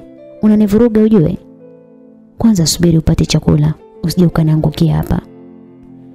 Mamangu alitoka nje na kuniacha mwenyewe. Kwanza niliwaza, kwa hiyo mimi ni mjamzito. Yaani huu ujauzito haujaona muda wa kuja mpaka muda huu ambao mimi ninachitiwa, si ndio? Nilijikuta nikianza kulia. Nimeishi na Lucas kwenye mahusiano kwa muda mrefu, sikuwahi kuona akiwa na mahusiano ya kando kando. Kuna muda niliwaza au kwa kuwa ana pesa sasa hivi ndio maana anapata na muda wa kunichiti. Kwa muda huo nilikuwa na maswali ambayo hayakuwa na majibu kabisa. Mamangu alirudi akiwa na ndizi za mtori pale nikala, I say. Poti lilikuwa limejaa lakini nilikula ndizi zote na juice kabisa nikainywa. Ah, hiki kitoto kimwanaume. Umewezaje kumaliza chakula chote hiko? Hata hivyo sijala tangu asubuhi zaidi ya kunywa tu ule mchuzi wa supu. Ah, kipindi kile ukiwa hauna hela ulikuwa unakula kama mcho. Sasa hivi umepata hela ndio unajua budget, si ndio? Nilitumia muda huo kumsimulia mamangu kitu ambacho kilinifanya nichelewe kula. Mamangu alicheka sana mwisho akasema, "We nawe. Yule mboke ni menyama tu hata kwenye sambusa zipo bwana." Mimi na mama yangu stori za hapa na pale zikiwa zimenoga, simu yangu iliita na nilipoangalia namba ilikuwa ni ngeni. Haraka nikapokea. Habari yako? Salama, nani mwenzangu? Uh, naitwa Dr. Ndeze, nimempokea mumao hapa kwenye hospitali yetu. Na katika vitu vyake, kitu cha muhimu kukutana nacho ni namba yako na ameiandika wife. Sijaelewa dokta. Uh, ili kuelewa madam, njoo hospitali ya Aga Khan. Ukifika hapo ulizia Dr. Ndezi tu utanipata. Kwanza nilijihisi kuchanganyikiwa. Siku moja imekuwa na matukio mengi sana. Na ukiachana na hivyo, najua mama wangu yupo mkoani kikazi. Sasa hapa agakani amefuata nini tena jamani? Kwa kuwa daktari yule alikuwa amekata simu niliamua kumpigia tena. Umesema agakani ya mkoa gani? Ni Dodoma dada, kutokana na hali yake. Kwa kweli tunahitaji sana mtu wake wa karibu. Sawa, nilikuwa najua kwamba Lucas amenichiti lakini kwa taarifa ambayo nimeipokea niliweka hasira pembeni. Ukiachana na kila kitu mimi na Lucas ni watu ambao tunapendana sana. Kuna nini? Mbona naanza kulia tena? Mama Lucas, Lucas kafanya nini? Zungumzo unaniweka roho juu juu ujue. Lucas mama, Lucas wangu sijui amepatwa na nini. Lakini yupo hospitali ya Dodoma na hali yake sio nzuri. Kwamba safari yake ya kikazi alikuwa mwenyewe au? Hizi taarifa ziko juu juu sana. Mama alichukua simu yangu na kumpigia daktari ambaye mimi nilitoka kuongea naye muda si mrefu. Baada ya maongezi ya mama na daktari, mama yangu alinigeukia na kunipatia simu yangu kisha akasema, "Namba ya bosi wa mumeo unayo au?" "Ndiyo." Mama yangu kwa kweli alijua kusimama kama mama, alifanya mawasiliano na baada ya muda akakata na kuniambia, "Kila kitu kiko sawa." Wao pia walikuwa wanamtafuta kwenye simu na hapatikani. Mama yangu alifunga safari na kwenda nyumbani kwa kina Lucas kwa ajili ya kuwapa taarifa, maana simu hazikuwa zikipokelewa. Siku tatu zilipita, Lucas wangu alirudi nyumbani akiwa amedhoofu sana. Hali yake haikuwa mbaya sana wala sio nzuri sana. Niliweka hasira pembeni kisha nikasimama kama mke na kuanza kumhudumia mume wangu. Unavyojifanya mke mwema sasa. Alizungumza Neema dada yake na Lucas. Na muda mimi na yeye tulikuwa jikoni tukisafisha vyombo. Uh, Neema, kuna muda unatakiwa kuzungumza kama mtu mzima sawa? Kwa hiyo ulitarajia kipindi hiki kigumu kwa Lucas ningemwacha ni Nikwambie tu, nitasimama na Lucas kwenye kila kitu. Aidha awe mume wangu ama rafiki tu. Wacha we. Unajitaa hapa wakati Mboka yupo kukusaidia majukumu yako. Nilimwangalia Neema kwa muda kisha nikasema huyu msichana huyo si wa kumwonea huruma hata kidogo kwa kweli. Kipindi hiki Neema alikuja kuishi na sisi kwa kufuata maelezo ya mama yake. Yaani mama mkwe hakuwa na imani na mimi hata kidogo. Wasiwasi wake ni mimi kwamba nitamdhuru kijana wake. Ikiwa ni majira ya asubuhi basi hapo nikiandaa chai na kutenga mezani. Kwa utaratibu wetu huwa tuna tabia ya kukoroga sukari kabisa. Hivyo sikio badala ya kuwawekea sukari kwenye chai niliamua kuwawekea chumvi. Chai yangu mimi na mai wangu ilikuwa tofauti na yao kwani sisi tulikula tukiwa chumbani kwetu. Baada ya muda niliweza kusikia kelele za Neema akiniita kwa sauti ya kufoka sana. Piwa. We piwa. Ah, mbona Neema anakuita kwa sauti ya juu hivi? Ah, mbona Neema anakuita kwa sauti ya juu hivi? Dada yako unamjua lakini anaongeaga na mimi kama kitoto chake cha mwisho. Mwambie mimi nimesema aache kukufokea sawa? Niliinuka na kutoka nje kwa kujiamini kabisa nikaenda kusimama karibu naye. Hii ni kitu gani umetupikia? Si ni chai ama mlitaka uji? Hapo Mboke alichukia akainuka kitini na kuja nilipo. Ni kama anataka kunipiga hivi. Na ule mwili wake nikasema akiniangukia tu kuisha habari yangu. Kwa hiyo chai sasa hivi kiungo chake ni chumvi, si ndio? Oh, about that. Nilitaka mjue maumivu ya mtu kukutendea ubaya. Jana kwa kuwa nilikuwa wa mwisho kula, mkaamua pilipili mtama yote muimimine kwenye chakula changu. Hii ilipelekea mimi kulala njaa. Kwa hiyo kulala njaa ilikuuma sana eh? Aliuliza Mboge. Kama ambavyo wewe imekuuma sasa hivi kunywa chai ya chumvi badala ya sukari. Muda wote huo Neema alikaa kimya akiniangalia tu, kumbe muda huo Lucas wangu alijikokota na kutoka nje. Kuna nini? Mbona kama mnamfukia sana mama kija wangu? Shida ni nini? Hapo kwanza kila mtu alishtoka, maana taarifa ya ujauzito sikuwa nimezitoa kwa mtu yoyote isipokuwa mama yangu tu. Mimi pia nilishtuka maana sikuwa nimwambia Lucas kitu chochote. Nilihitaji kumwambia akiwa sawa kabisa. Huyo msichana ndio mjamzito au? Kwani nina wanawake wangapi? Tena wewe ne, Neema, naomba shusha sauti yako unapozungumza na mke wangu sawa? Nina uhakika hii mimba sio yako. Huyu sio mwanamke ovyo kama wewe. Hmm, nikaona hii vita ni ya dada na kaka inaanza kuwa kubwa. Nilichokifanya ni kumshika Lucas wangu na kuingia naye chumbani tu. Ni nani amekupa taarifa za ujauzito wangu? Nani mwingine zaidi ya mamko wangu bwana? Nakumbuka ni juzi asubuhi wakati ananipa ujininywe. Nilikuwa nakataa kanaambia unatakiwa kupona kwa ajili ya mtoto wako mtarajiwa. Kaa jamani mamangu naye hana kabisa kaba.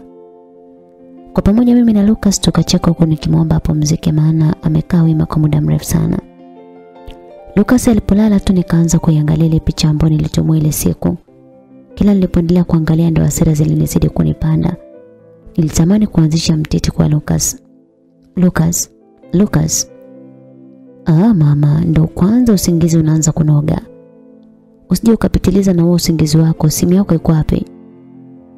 Niliamua kumuuliza maana tangu amerudi sijaona simu na niliamini kwamba naweza nikapata baadhi ya majibu. Nahisi iliibiwa hotelini siku ambayo nimepata fahamu. Niliulizia lakini nikaambiwa kwamba hawakunikuta na simu. Sawa, hakuna shida. Ya nini kwani? Nimeulizia tu maana tangu umerudi sikuiona. Nilimwacha alale kisha mimi nikatoka nje ya nyumba na kupiga namba ile ambayo mara ya mwisho ilinitumia picha. Oh, hatimaye mke mwenza leo umenikumbuka. Kwani wewe ni nani? Ah, ni mapema sana kunijua. Eh, vipi mume wetu anaendeleaje? Sikujua kama ile dawa ingekuwa ina nguvu vile. Ila nikwambie kitu. Hata kama alikuwa kama gogo lakini nimeenjoy wallahi yuko vizuri. Unaongea kuhusu nini? Na wewe ni nani? Eh? Umempatia nini mume wangu? Mtoto mdogo kaa kimya, watu wazima wafanye kazi zao. Upo bize na mwanaume umesahau kuhusu baba yako? Haraka nilikata simu nikaona huyu ni mtu ambaye ananijua vizuri sana. Yaani mpaka taarifa za babangu anazo kweli jamani. Kwa haraka haraka kile kanaambia kwamba huyo ni Tima na sio mtu mwingine. Nikainua simu kwa mara nyingine na kumpigia. Tima nimesha kujua. Acha kukurupuka mtoto. Nikiwa naendelea kubishana na msichana huyo simu yangu ilionyesha kwamba kuna simu nyingine inanipigia simu. Nilipoangalia ilikuwa ni namba ya Tima nikabaki njia panda. Nilikata simu ya msichana ule chapu nikapokea simu ya Tima. Halo. Alizungumza Tima kwa sauti fulani vya upole. Halo. Pole mdogo wangu, mama ameniambia kwamba unauguza. Ningekuwa nipo da ningekuja kuwaona. Kwani uko wapi? Uh, niko Mwanza. Mtoto wa baba yangu huyu wa pili anavikwa pete na mchumba wake. Tumekuja jana. Oh, sawa. Piwa, uko sawa lakini? Ya, niko poa. Okay, baadaye nasikia baba ananitafuta huko juu. Baadaye mdogo wangu nakupenda. Alizungumza Tima haraka haraka kisha akakata simu. Kiukweli nilichoka. Na hapo nilipata majibu kwamba mwanamke ambaye alikuwa na Lucas sio Tima. Yaani kwenye vita yangu ya mapenzi tayari nimepata mshindani mpya. Nikiwa naendelea kuwaza na kuwazua msichana yule akapiga tena. Nilipokea na kwa hasira nikamuuliza unataka nini? Lucas tu, mimi namtaka Lucas Piwa. Sasa hivi ndo naelewa kwa nini unampenda. Naelewa kwa nini unampenda sana Lucas jamani. Kaka yuko msweti huyo na pale alikuwa ajitambui Najiuliza itakuwaje akiwa anajitambua. Anyway, mke mwenzangu uwe na siku njema. Msichana huyo alizungumza hayo kisha akakata simu. Nilichoka sana shoga yenu kijasho chembamba kilinitiririka kwa kweli. Nikiwa nazunguka huku na huku alikuja Neema, alisimama na kuniangalia kwa muda kisha akazungumza. Baba wa mtoto apokee simu au? Nafikiri katika kipindi chote ambacho nilikuwa sitaki kuingiliwa kwenye mambo yangu basi ni hiki. Lakini maadui zangu ni kama waliweka kikao na kuambiana waongeze kasi ya kunisumbua. Na wewe wapigiwa kwako kama ni rahisi. Mimi sio mdangaji kama wewe piwa. Sio mdangaji au hauna bahati?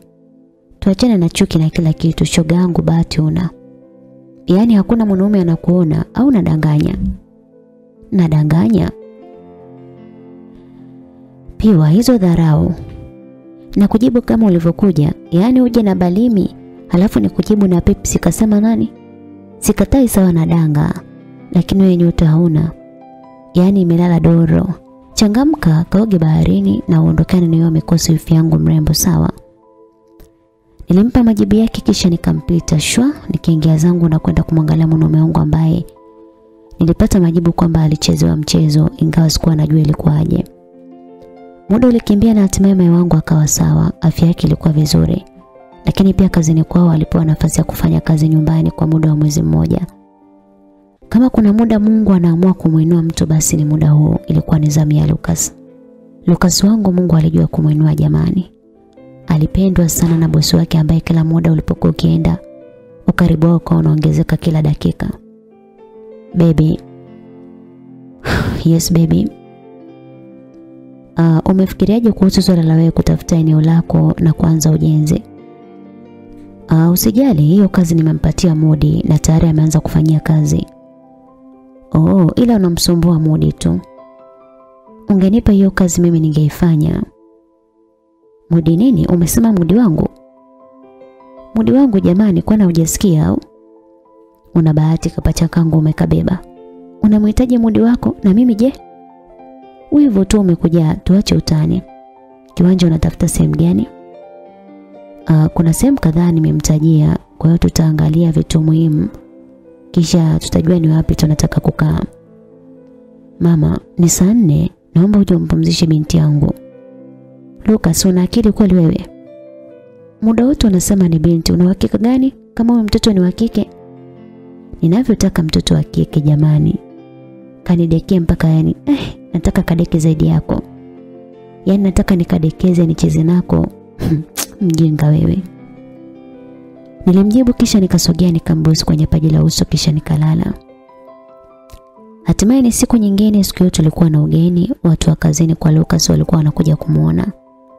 Lakini pia walikuwa na kikao na walitaka kufanyia nyumbani kwetu. Niliamka na kuwapa maelezo watu wote ikiwemo shangazi ambaye mara nyingi amekuwa mkaidi. Majira kama saa sita mchana wageni walifika na mimi kama mwanamke wa Lucas nilikuwa kimbelembele kwenye kuwapokea na kuhakikisha kwamba kila kitu kinakuwa sawa. Sikuwa mwenyewe kwa kweli, sikuwa wifi yangu Neema na Mboke walikuwa watu tofauti sana. Walinisaidia kwenye kila kitu na kuhakikisha kwamba mambo yanaenda sawa. Saa saba na nusu mchana chakula kikawa tayari, tukaandaa mezani na kuwakaribisha wageni. Uh, Lucas, pole sana kwa kila kitu, lakini pia simu yako imeweza kupatikana kwenye ile hoteli. Kuna mhudumu alipita nayo. Alizungumza msichana fulani hivi ambaye alikuwa ni mmoja kati ya wageni hao. Lucas alifurahi sana kupata ile simu. Siku zote hizo alikuwa akitumia simu yangu kwenye mambo yake huko, akiendelea kutafuta pesa kununua simu nyingine. Nikiwa biza jikoni, Lucas aliweza kuniita kwa sauti ya kawaida, mie tena. Haraka nikaitika mwito wa mume wangu. Nikakabidhiwa ile simu na bila ajizi nikapeleka ndani na kuweka chaji. Walifanya vikao vyao na walipomaliza stori za hapa na pale zilishika nafasi yake. Kwa kweli walionekana kuwa ni watu ambao wanapendana sana kwenye kampuni yao. Majira saa kumi na moja wakaanza kuaga na ukiangalia muda ulikuwa umeshaenda. Katika kuagana agana bwana, binti fulani ndiye alionekana kujisikia sana tangu alipofika. Binti huyo alinisogelea na kuniaga kwa kunipa mkono. Nilipoangalia kucha zake hazikuwa ngeni machoni mwangu. Nilimwangalia msichana huyo ambaye pia alikuwa amenikazia macho na alikuwa akiacha tabasamu ambalo sikuwa nimelelewa. Tukiwa bado tunaendelea kushikana mikono, Lucas alikuja na kuzungumza. Uh, naona kabla sijawatambulisha tayari mmekutana. Um, Sophie, huyu mke wangu anaitwa. Hata kabla Luka hajalitaja jina langu, ile msichana akadakia piwa. Uh, Sophie, sijakutambulisha na tayari unamjua jina? Lucas bwana, we pale ofisini kila kila tukikusifia kwenye kila kitu wewe unamtupia piwa kwamba ndio yupo nyuma ya kila kitu. Sasa sasa nasahau vipi ikiwa namtaja sana? Ah, ni kweli ni kweli. Kwa upande wangu akili yangu ilifocus na sauti ya msichana huyo lakini pia na kucha zake. Anyway, wacha niwakimbie maana babangu ameshatoka nje na ashindwe kuniacha hapa. Ah, piwa, huyu hapa ni Sophie, ni mfanyakazi mwenzangu. Lakini pia ni bosi wangu maana ni mtoto wa bosi. Lucas alitoa utambulisho haraka haraka maana Sophie alionekana kuwa na haraka sana. Baada ya wageni wote kuondoka tuliweka vitu sawa na sikuacha kuwashukuru kina Neema na Mboke maana bila ya wao sidhani sidhani kama ningeweza kumeneji kila kitu nikiwa mwenyewe. Hauna haja ya kunishukuru, nimefanya kwa ajili ya kumsaidia kaka yangu. Neema alinijibu baada tu ya mimi kuwashukuru. Kikubwa ni mwashukuru tu, sikuona haja ya mimi kulumbana na wao. Ukiangalia siku ilikuwa ndefu sana, nilichoka. Nilichofanya ni kwenda chumbani kwangu kupumzika tu. Pole mke wangu, naona leo haujapumzika kabisa. Lucas aliniambia kwa kipapasa kitumbo changu ambacho akikwanza hata kuonekana. Hapo unaniambia mimi au hilo tumbo? Nakwambia wewe mke wangu jamani, unamwonea hivyo hadi mtoto. Najiona kabisa huyu mtoto akizaliwa mimi nitakuwa side chiki. Maana sio kwa mapenzi yao unaomwonyesha. Afadhali umejua mwenyewe tena mapema tu. Lucas, embu tuwe serious. Yule Sophie safarini wa Dodoma mlienda naye? Ya, mbona umeuliza? Ah, nimeuliza tu kwani dhambi. Hivyo mke wangu hivyo. oho. Nimesha kwambia macho yangu kwenye upande wa kupendezwa yamependezwa na wewe tu. Hayo ya upande wa wivu sasa unayaongea wewe tu, mimi wala uko sipo. Nilipopata muda wa kushika simu yangu niliangalia ile picha na hapo niligundua kwamba mikono ni ya ule msichana, maana kucha ni zile zile. Lucas, siku ambayo ulikula chakula chenye madawa ulikuwa na nani? Mama, mama, umeanza upelelezi au? Kwanza nimekumbuka simu yangu iko wapi? Nimeweka chaji, nijibu swali langu. Nilikuwa mwenyewe mama na ilikuwa ni majira ya mchana wa saa sita. Nilipomaliza tu kikao, kwa kuwa asubuhi nilishindwa kunywa chai, hivyo mchana nikawahi kula na tangu hapo sikumbuki nini kilitokea. Naweza kupata namba ya Sophie? Ya nini tena jamani? Nimependa nywele zake na zile kucha. Nataka na mimi nikatengeneze. Nilitaka kushangaa Yaani urembo kupita mke wangu kweli? Alijibu Lucas kisha akainuka na kufata simu yake na kuiwasha kwa mara ya kwanza tangu ilivyopotea kwa muda mrefu kidogo. Lucas alinipatia namba lakini ilikuwa tofauti na ile ambayo alinitafuta huyo msichana siku ile. Akili yangu ilikuwa juu juu, yani nilikuwa kama mpelelezi. Akili yangu iliniambia kwamba msichana yule ndiye ambaye alikuwa na Lucas usiku ule. Lakini nilikosa evidence, nilikosa kabisa ushahidi wa kutosha. Siku ziliendelea kwenda ikiwa ni siku ya Jumanne, nimeamka mwenyewe mapema ili niweze kufanya kazi zangu na kwae kwenda kliniki. Nilitoka nje ya nyumba na kuanza kumwagilia maua, maana nyumba hiyo ilikuwa imezungukwa na maua kwa nje. Hivyo sikuwa na budi kuyatunza. Nikiwa biza na kazi yangu ya kumwagilia maua, shangazi alikuja na kusimama karibu yangu. Aliniangalia kwa muda pasi na kuongea kitu. Niliendelea kumwagilia maua maana mtu mwenyewe ananiangalia tu na asemi kitu. We binti.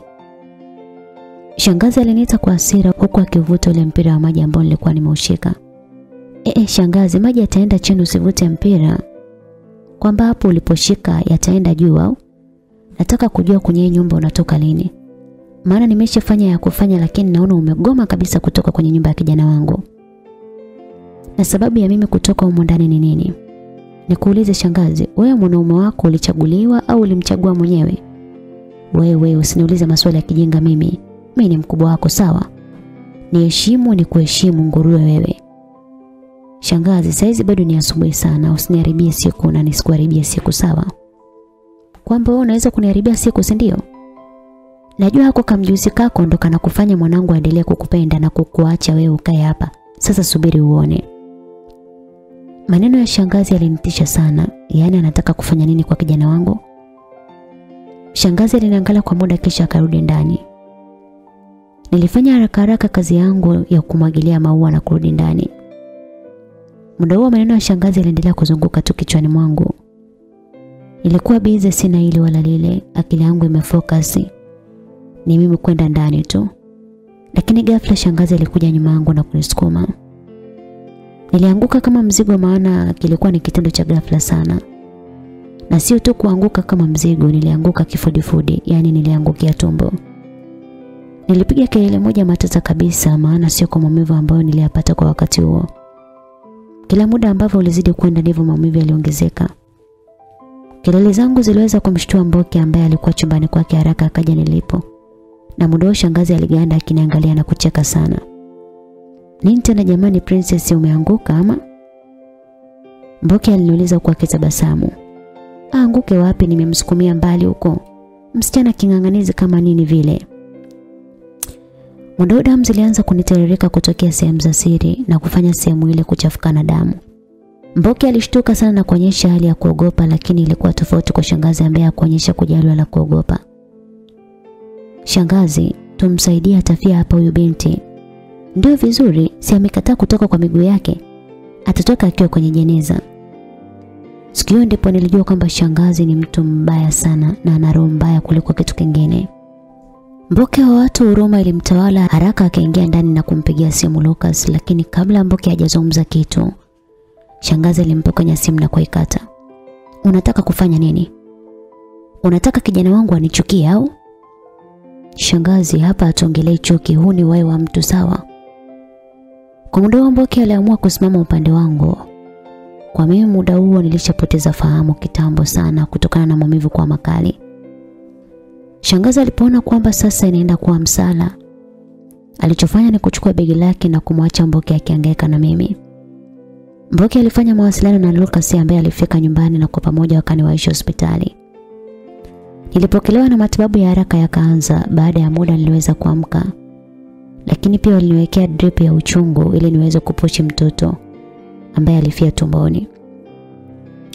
Kitendo cha mimi kupoteza mtoto kilikuwa ni pigo kubwa sana kwangu. Lakini maumivu yalikuwa ni mara mbili yake kwa Lucas ambaye alijiandaa vyema kwa ajili ya kuitwa baba. Upande wangu drip za damu zilikuwa zikipishana tu kwani nilipoteza damu nyingi sana. Mama yangu alikuwa nje ya wodi akizunguka huku na huko kwa wasiwasi. Siku hata dada yangu Tima alikuja na alikuwa sambamba na kumtuliza mama. Siku tatu zilipita pia mimi ndo kama nilikuwa narudisha akili zangu hivi. Niliamka kwenye chumba cha hospitali ambacho pembeni yangu kulikuwepo na Lucas ambaye Aliweka kichwa chake karibu na mimi na alikuwa amepitiwa na usingizi. Nilimwangalia Lucas kwa huzuni sana. Niliona ni kiasi gani shangazi ameenda kuzima ndoto za kijana wake kwa ajili ya ubinafsi. Nilitulia kwa muda nikipapasa papasa kichwa cha Lucas ambaye usingizi ulikuwa umemchukua zaidi kutokana na uchovu. Baada ya muda mfupi aliingia Sophie msichana ambaye alikuwa anafanya kazi kitengo kimoja na Lucas. "Oh, umeamka?" "Ya, karibu." Maongezi kati yangu na Sophie ndo ambayo alimshtua Lucas ambaye alikurupuka kama alikuwa akiota ndoto mbaya hivi. "Oh baby." Aliniita Lucas baada ya kuweka akili yake sawa. "Yes baby." "Unajisikiaje?" "Niko sawa." Nilijibu huku machozi yakinilengalenga. Yaani lile swala la kupoteza mtoto kwa upande wangu lilikuwa gumu sana. Nilijitahidi kujikaza ili nisiweze kulia lakini nilishindwa. Oh, usilie mke wangu, sawa mama? Kila kitu ni mipango ya Mungu, sawa? Alizungumza Lucas huku akiwa amenikumbatia na kunipigia piga mgongoni. Kitendo cha Lucas kukumbatiana na mimi kilimuumiza sana Sofia ambaye alituangalia kwa hasira sana. Kisha akatoka nje. Lucas, kwamba familia yako ndo hainipendi kiasi hiki? Unamaanisha nini? Nikasema hapa nikimficha, mficha maradhi kifo umumbua. Nilimsimulia kila kitu ambacho kilitokea siku ile. Shangazi ni mshenzi sana. Alafu nampa taarifa za kupoteza mtoto anajifanya anajiliza. Na ndio maana amerudi kijijini ghafla. Hali yangu ilionekana kuwa nzuri. Daktari alikuwa akinihudumia aliweza kuniruhusu ili niweze kurudi nyumbani. Polepole pole mama, eh? Polepole pole kipenzi. Alizungumza Tima ambaye alikuwa amnishika mkono na ndo tulikuwa tunashuka kwenye gari baada ya kufika nyumbani.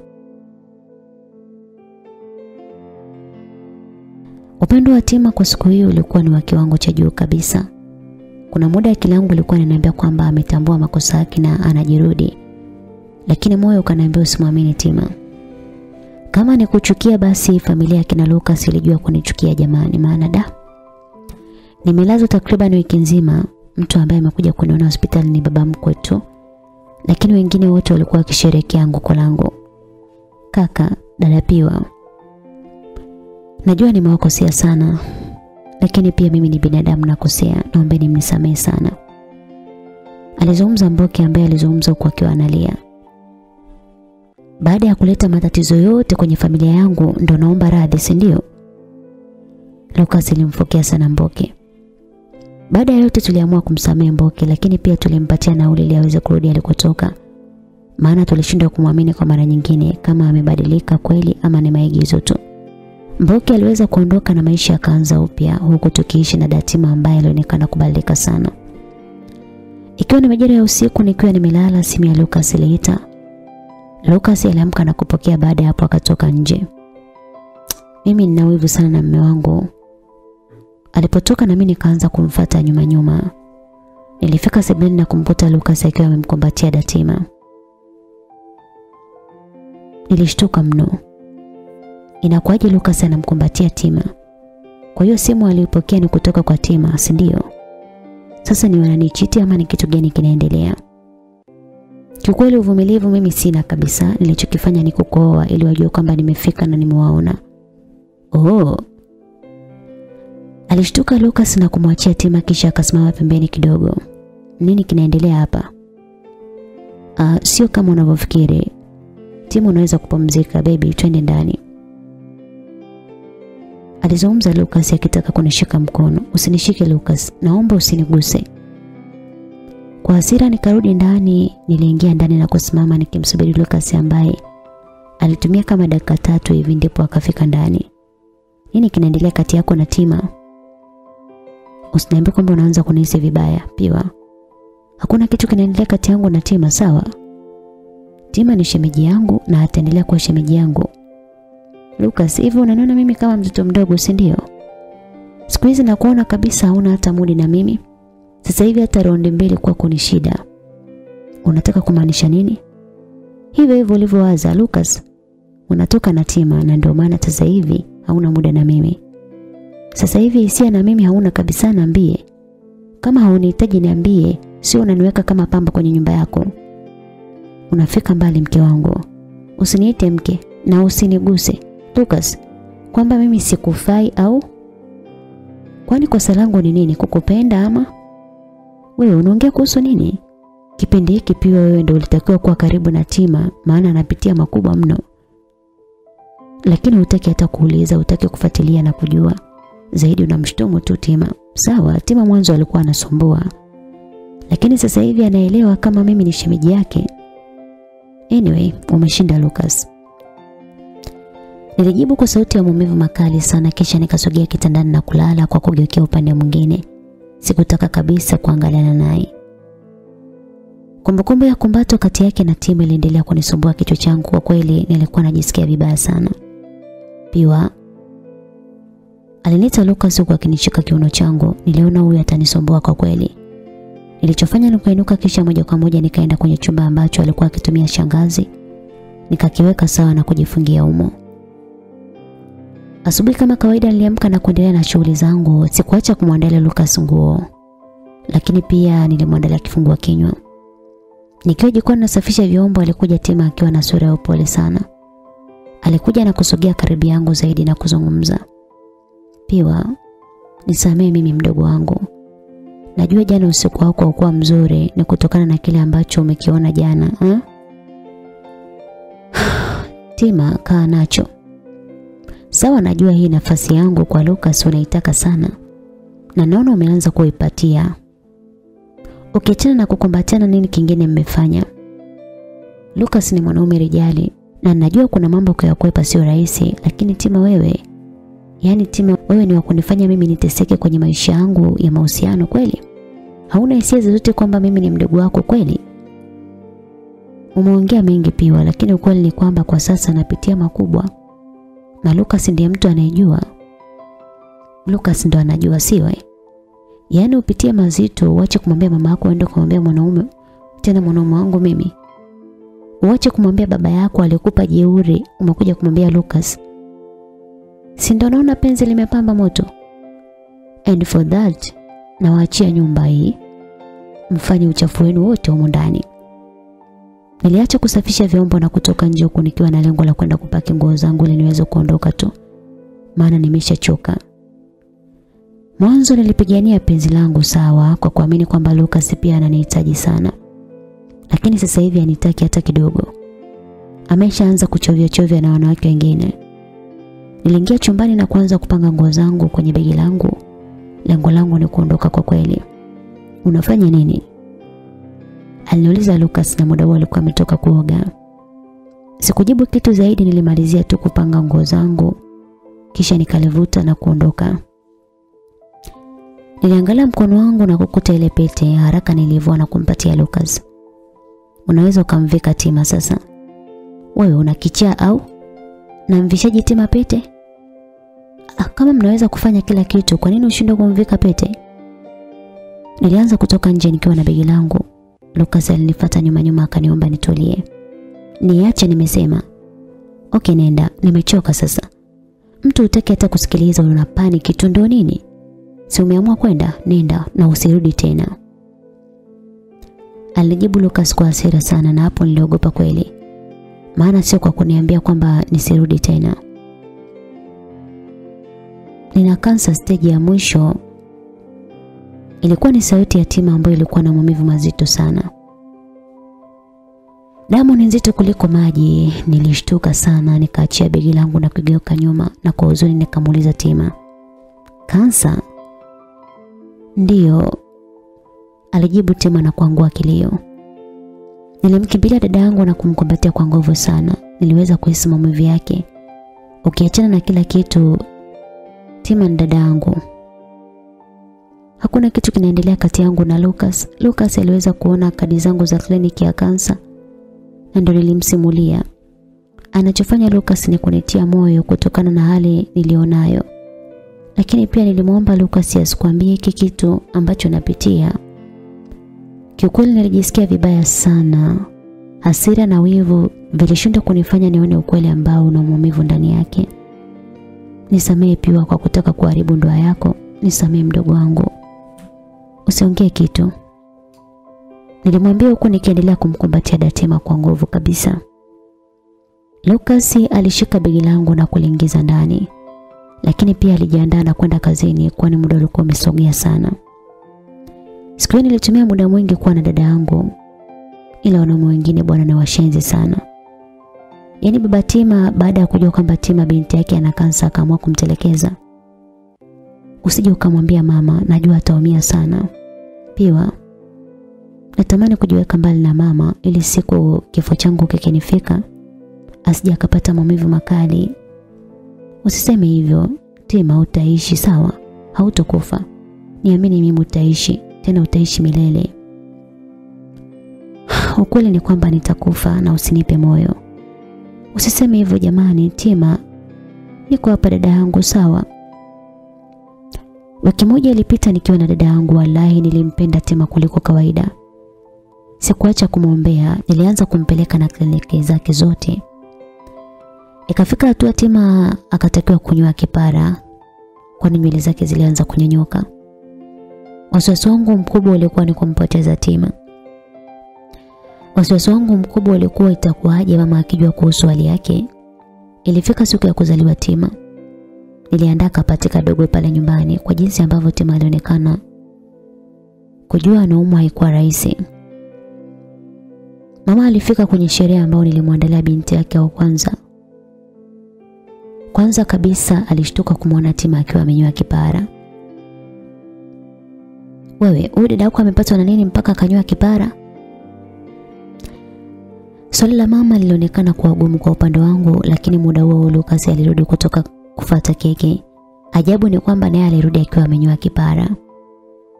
Na huyu naye jamani? Hawa ni wajinga ujue. Walikuwa wanaangalia jua kali, wakaamua kumsapoti Mfilipino wa Lucas. Niliunganisha uongo kwa mama. Wapuuzi kweli. Mmekuwa kama vibwenzi. Muda huo huo macho yangu yalitamani hata kutiririsha machozi kwa kweli. Maana da hali ni tete. Lakini ilikuwa sio rahisi kumwambia mama kwamba binti yake anaumwa sana na yupo kwenye nyakati za mwisho. Majira ya usiku baada ya kumaliza pati ya Tima, marafiki waliondoka na kutoacha wenyewe. Tima hakuacha kunishukuru kwa kile ambacho nimemfanyia. Kwa kuwa muda ulikuwa umeenda sana, kila mtu akaenda kulala. Majira saa sita usiku nilishtuka na nilipoangalia kitandani nilishangaa kujiona nipo mwenyewe. Niliinuka na kutoka nje kwa lengo la kumwangalia ameenda wapi, maana pia hata chooni hakuwepo. Nilifika sebleni na kuanza kusikia minong'ono ya watu wakilumbana. Lucas, kweli unaruhusu mimi nife kabla sijaonja utamu wako?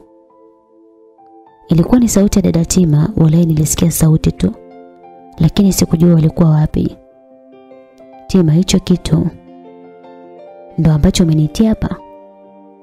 Mdogo wako anahangaika kwa ajili ya afya yako lakini wewe uko kutaka kumsaliti mdogo wako. Una moyo gani wewe? Ndugu wetu weka pembeni Lucas. Nini ambacho ukioni kwangu eh? Mimi pia ni mzuri tena zaidi ya huyo piwa. Nipe hata kidogo tu nakupenda Lucas. Siku zangu za mwisho zifanye kuwa za furaha. Niliendelea kuzunguka na kuitafuta sauti ilikuwa ikitokea wapi.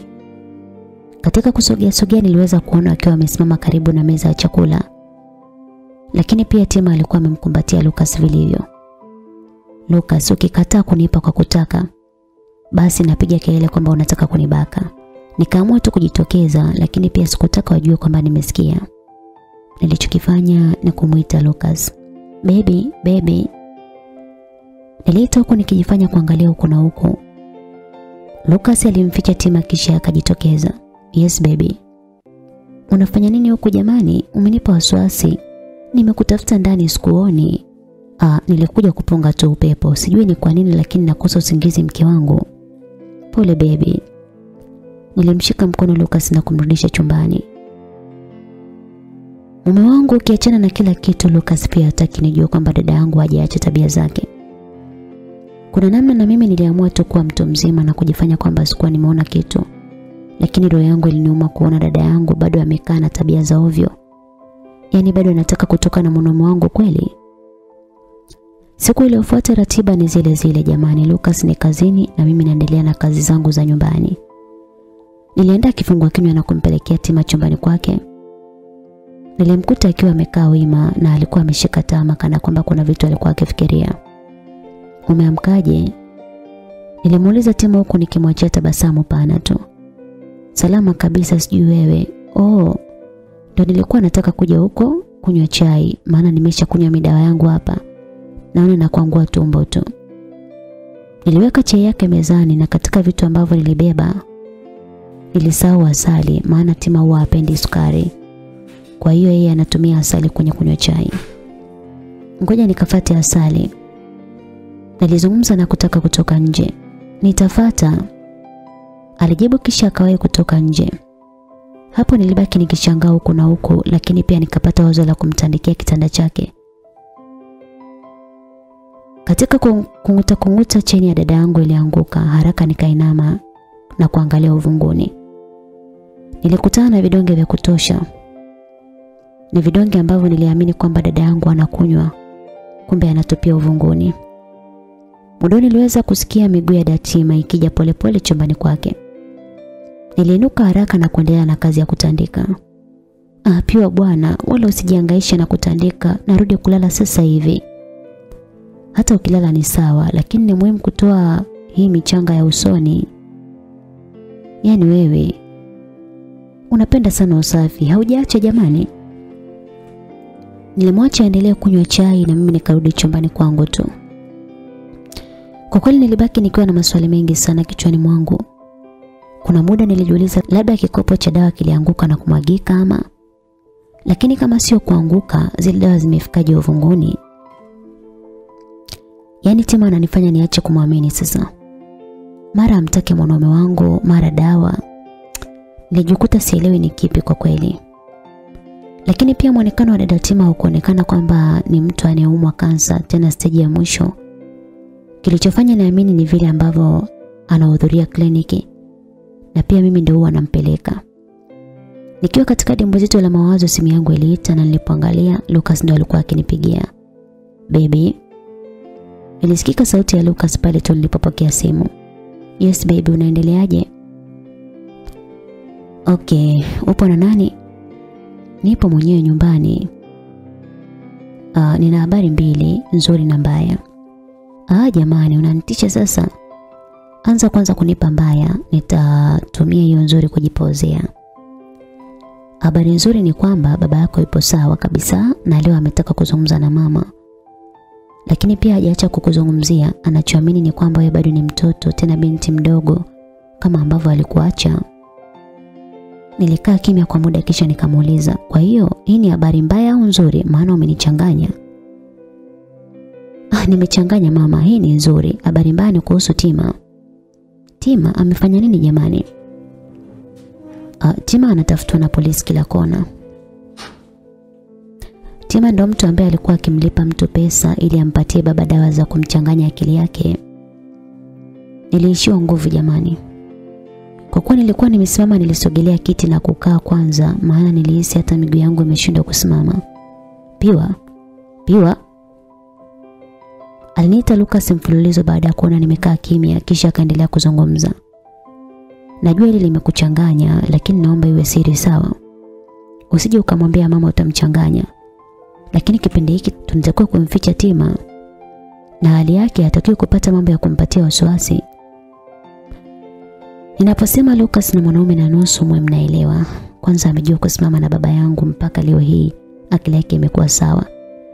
Na bado sasa hivi anatumia pesa zake kumtebia Tima mwanamke ambaye hajawahi kuwa mwema kwetu hata kidogo. Sawa, nilijibu kwa unyonge sana. Baada ya kukata simu nilipiga kelele ya furaha kuona kwamba baba yangu sasa amekaa sawa na anaweza karudi nyumbani sasa. Ukirudi kwenye ukweli mimi nilishakata tamaa juu ya hali ya baba yangu maana nilijua matibabu ya mtu mwenye shida ya akili sio marahisi. Nikiwa naendelea kupiga kelele Tima alikuja na kungonga mlango wangu. Nikasogea na kumfungulia. Na kwa kuwa ndiye mtu ambaye alitaka baba yangu asipone nikasema huu ni muda wa kumtambia sasa. Mm, unaonekana una furaha sana. Huwezi amini Datima, babangu amepona kabisa na anarudi nyumbani. Alishtuka sana akajichekesha kinafiki tu akanikumbatia kwa nguvu. Ukumbatiaji wake haukuwa wa furaha bali ni hasira. Maana sio kwa kuniminya kule jamani. Basi siku zilisonga, Lucas alimfuata babangu kule Dodoma na kurudi naye. lakini aliambiwa bado baba anahitaji uangalizi, hivyo akamleta nyumbani kwetu. Siku ambayo yangu alirudi ilikuwa na kisanga cha kutosha kudadeki, maana mama Lucas alikuja nyumbani akiwa na hasira sana. Huyo mzee kichaa yuko wapi? Mama Lucas aliuliza huku akiita jina la baba yangu huku na huku.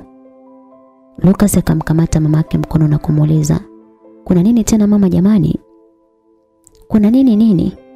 Yaani tangu upate hela wewe ndio umekuwa mtu wa kuwahangaikia hawa wenda wazimu. Siku zote hizo umemuuguza na kutumia pesa zako, kwa nini leo aje kwako? Usisahau kwamba mimi ni mko wangu. Mtoto kaa pembeni kwenye hili, tena koma sawa. Siku hiyo mama huyu alikuwa na hasira sana. Na muda huo mama yangu na baba yangu walikuwa chumbani kwani baba yangu alifika na kwenda kuoga. Mama shikamoo. Kwa hiyo babako kichaa yuko wapi? Baba yangu anaitwa kichaa tena mbele ya binti yake. Kwa kweli nilishindwa kuvumilia na kujikuta nikimjibu vibaya mama mkwe. Sawa baba yangu ni kichaa lakini hakufikii wewe. Hivi kwa muda huu wewe na baba yangu mkisimama hapa, nani ambaye anaonekana kichaa? Lucas, umeona huu msukule wako unavyonijibu? Msukule ni wewe mwanamke usiyekuwa na haya. Sikuwahi kukukosea hata siku moja, lakini umekuwa mtu wa kunihukumu asubuhi, mchana na usiku. Kosa langu ni nini? Kiukweli siku hiyo nilichafukwa. Yaani ni siku yangu ya kuwa na furaha alafu mtu anakuja kuniletea mambo meusi hapa. Lucas, unamwona mkeo? Hatimaye leo mama umekubali kwamba Piwa ni mke wangu eh. Huu ugomvi wenu wala unihusu.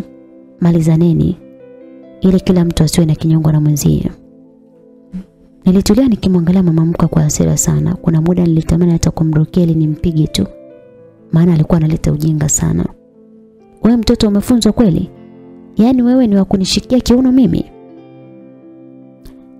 Kabla sijamjibu baba yangu alitoka nje akiwa amependeza, amevalia suti yake ambayo alinunua na mkwe wake. Alipendeza mno baba yangu. Shida yako ni nini? Shida yako ni mimi au binti yangu? Baba yangu alimuuliza mama Lucas huku akimsogelea. Mama Lucas alishtuka sana. Maana alijua kwamba atamkuta baba yangu ni mtu ambaye hana akili. Ajabu alimkuta ni mtu mmoja smart zaidi kuliko hapo mwanzo. Tunaweza kuongea nje? Mama Lucas alimuuliza babangu kwa sauti ya chini tena ya upole. Umekuja kwa jazba sana. Nafikiri mambo ambayo yalikuwa siri kwa muda mrefu leo hii nitayasema. Tumekuwa tukiyaficha mambo haya kwa muda sana lakini sasa ni mwisho. Alizungumza baba, kwa kweli hapo watu wote tulipata wasiwasi. Kwa upande wangu mawazo yangu alifika mbali, wasije wakasema kwamba mimi na Lucas ni ndugu bure. Huyu ni mtu mzima mwenzangu, tunaweza kuongea pembeni. Hayo mambo ya kuongea pembeni ndio alikuwa yananipa shida kwa mke wangu. Leo nitaongea mbele ya kila mtu. Usifanye hivyo. Mama Lucas alionekana kuwa na wasiwasi sana. Kwa wasiwasi akamgeukea Luka na kumwambia, "Huyo mzee ni muongo, usije ukamwamini." "Mama, kuna nini?"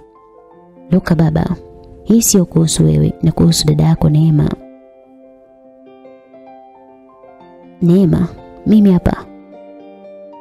Nimefanya nini? Ndio maana njia nzima najing'ata kumbe kuna kichana nitaja huko. Alidakia Neema ambaye ndio kwanza alikuwa amefika, alikuwa ameongozana na baba yake pia. Baba Piwa, please usiseme kitu. Mama Lucas alidakia kwa juu. Neema sio mtoto wa Mr. Mwaimba. Alizungumza baba na kila mtu akashtuka. Kwa hasira mama akamgeukia baba na kumkunja kisha akamuuliza, "Ni mtoto wako si ndio?" Neema usimwamini huyu baba. Huyu mwanaume bado ni kichaa. Lucas mwanangu, si unataka kumsaidia? Mkeo, pigeni simu waje kumchukua huyu mzee. Ugonjwa unazidi kupanda kichwani. Mama, hebu subiri. Unasemaje mtu ni kichaa ikiwa anajua nini anaongea? Muda mama wangu alikaa chini na aliona kwamba alikuwa anaficha mambo mengi sana.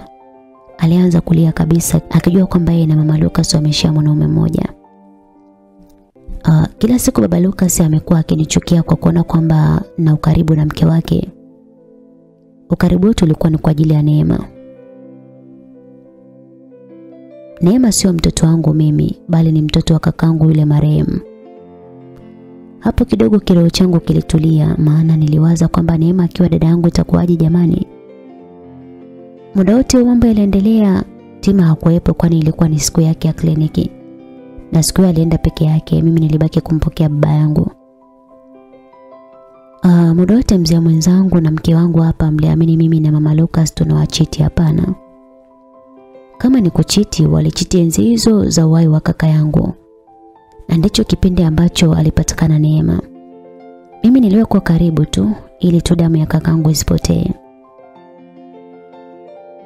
Baba Lucas ni mwanaume mmoja hivi anajitambua sana. Ukiachana na habari nzito ambayo ameipokea, alichokifanya ni kutuliza akili yake na kukaa chini kwa utulivu kabisa.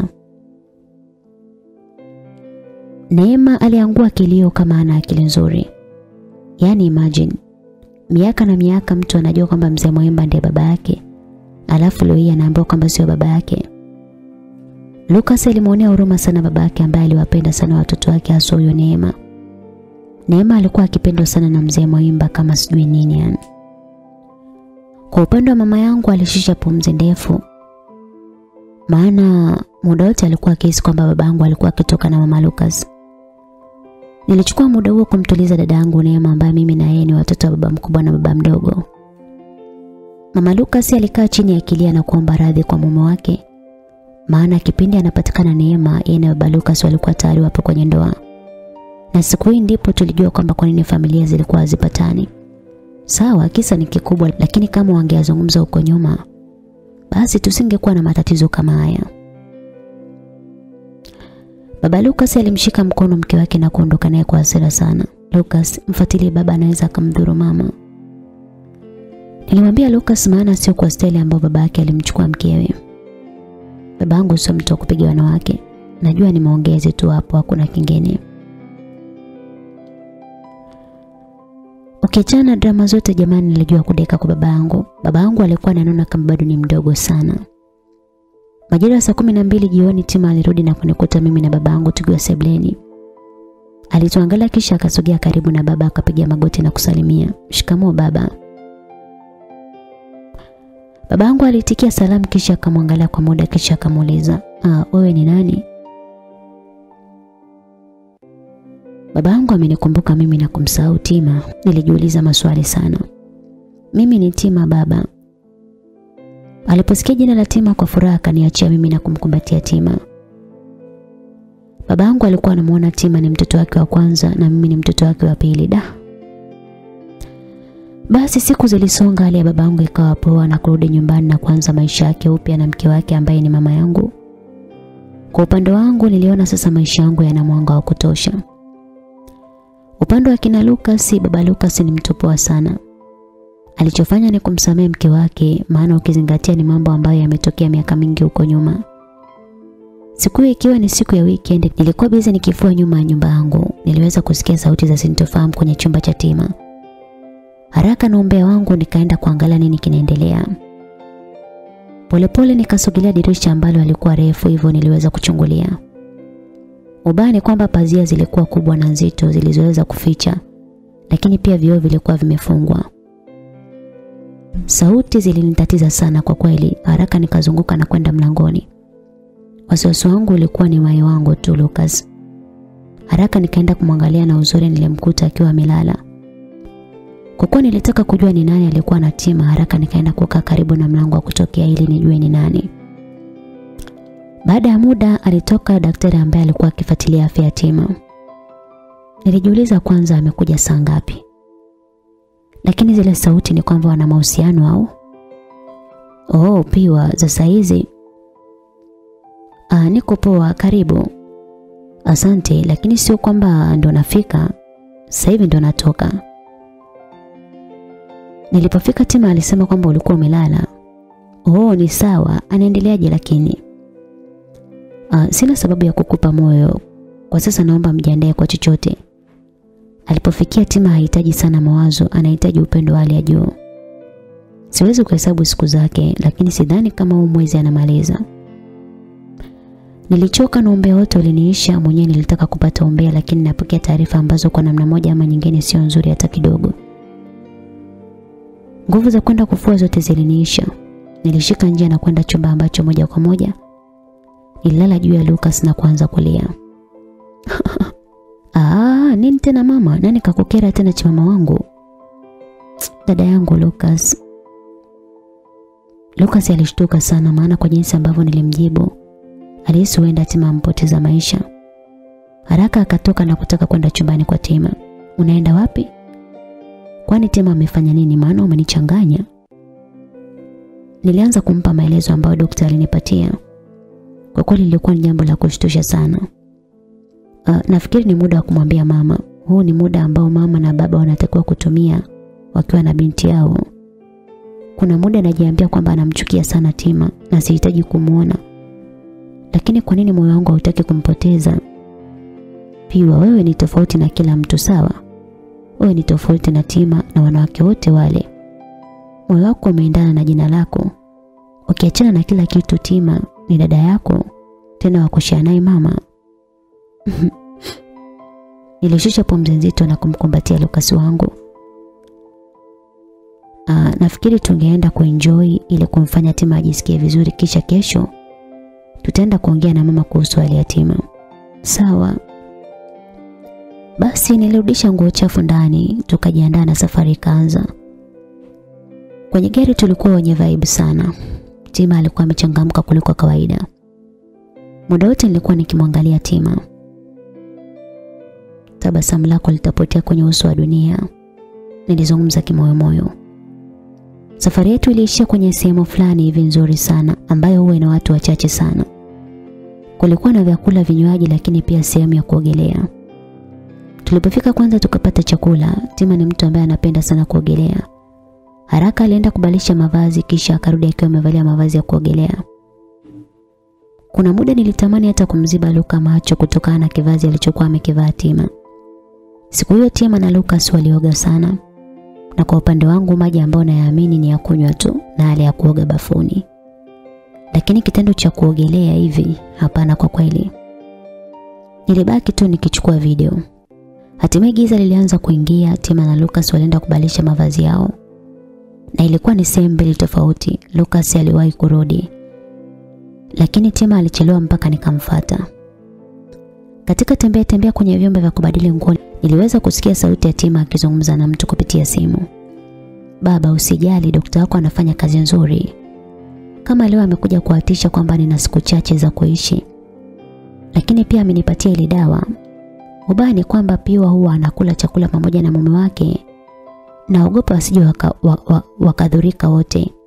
Baba, haja yangu ni Lucas tu. Tima alitulia kwa muda kisha akaendelea kuongea. Sijui nafanyaje baba, nachanganyikiwa. Mwanaume mwenyewe ni kama bwege tu. Kila kitu ni Piwa. Huwezi amini baba. Ile dawa ya mganga imedunda, Lucas hana hata hisia na mimi. Niliishiwa nguvu. Yaani kumbe dada yangu ndio shetani kiasi hiki kweli jamani.